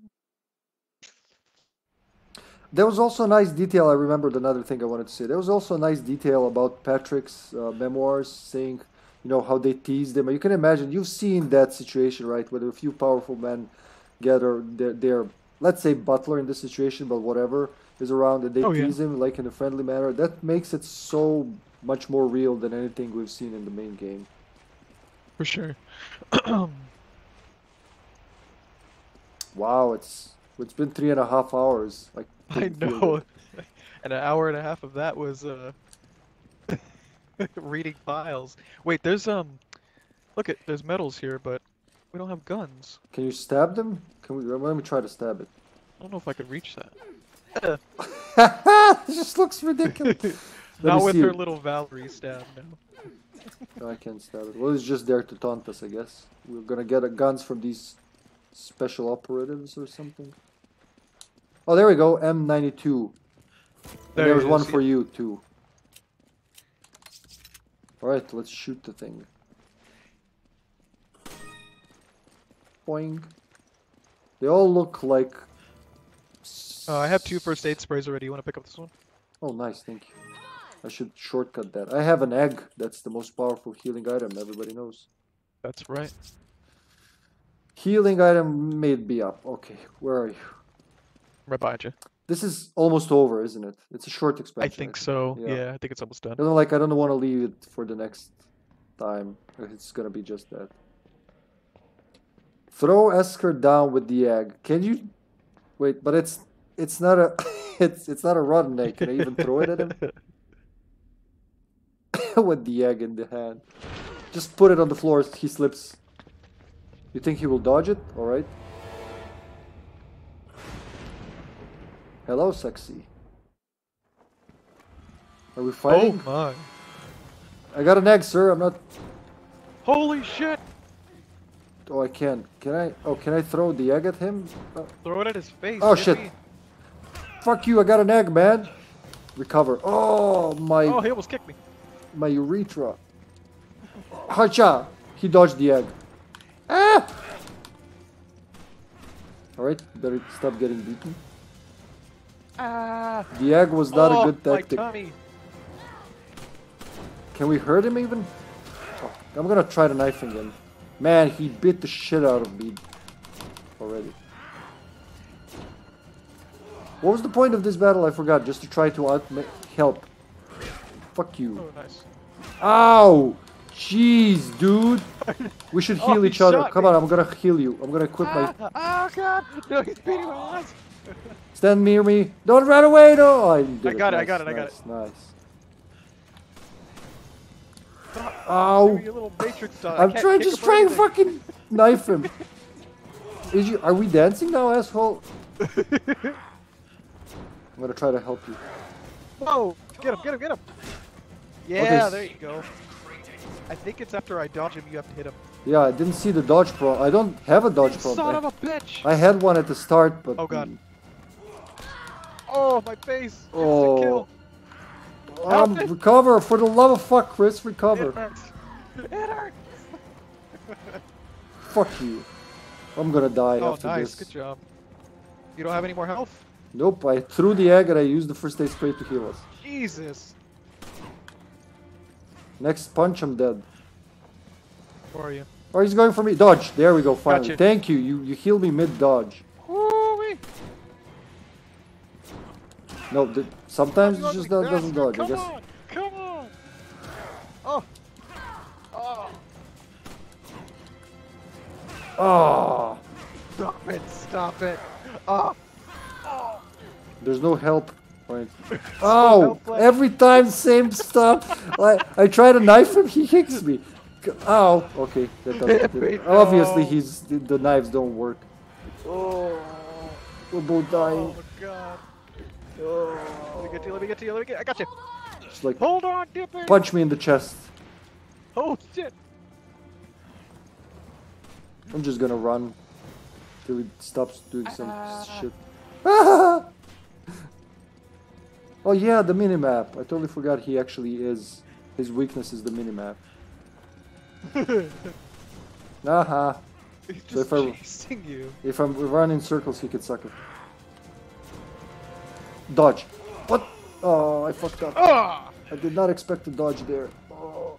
I expected more. You know, seven minutes is the limit here too, huh? oh, wow, we punched him enough times. We did, we survived. What's the point of guns in this section? They do nothing. The knife is useless, you just gotta quick time him. Oh! This is what we saw in the main game, yeah. Her headset is shoved inside her ear, you asshole. Do you have any decency?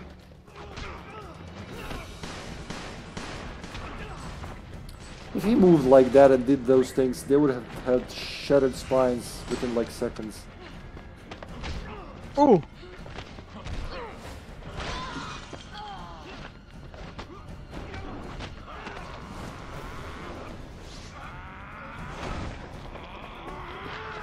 Is that my blood on the on the thing? Because if it is, that's bad.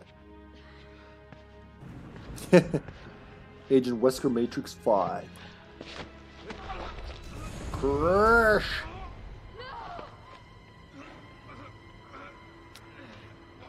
Let's finish this. Yeah. He's like, I'm gonna punch Ah. you slowly so you can see what I'm doing. Dippy! I should be going, mutation! That's it. That was really short. That was short. Hi, had better accuracy finally! And all it took was You know, static cameras. Hold on. In all fairness, it's probably from all the shots, those mean, meaningless shots I did on Wesker that went. Sending data. Who are you sending it to? Dun, dun, dun. So the machine gun, the weapons, yeah, it's not.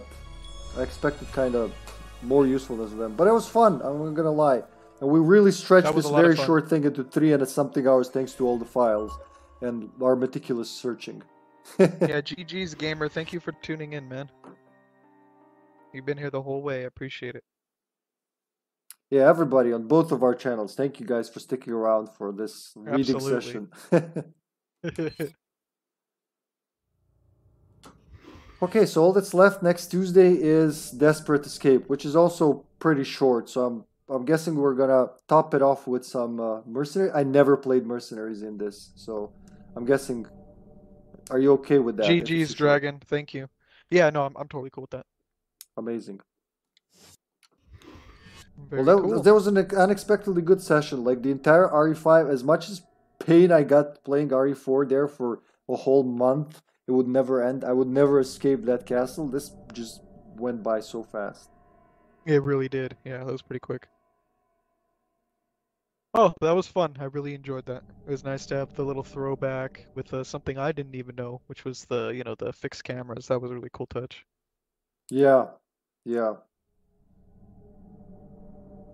Oh, good thing. Good thing the tweet I prepared for this before the stream, you know, as an announcement, I never sent it. Jeez. Well, who cares? Here we are. We're still here. Yep. Like I said, thank you guys for watching over here and the Mutations channel. Let's just, we appreciate you guys. What can I say? We really do. Thank you so much, and uh, just uh, be prepared for more. There's a lot more to come. RE6, I can't wait. Yeah, it's, It's be- known by now. I love that one. Dun-dun-dun, sh- dun-dun-dun. Who we gonna who we gonna who we gonna raid? Ghostbusters. Or can raid Ghostbusters.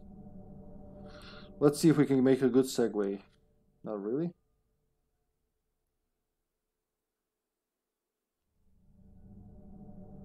Run. Fuck it, I'll raid Swayze. We're doing- we're Thank doing you. Support ping pong here. Mhm, Right on. Diablo 4. Eh, why not? This looks like Why Diablo not? 4, kinda. All set here? Yes. Yes. Okay. Time for me to close my eyes for a few hours. Mutation, thanks again, man. Everybody, My pleasure. Until next time. bye. See you guys later. Bye bye.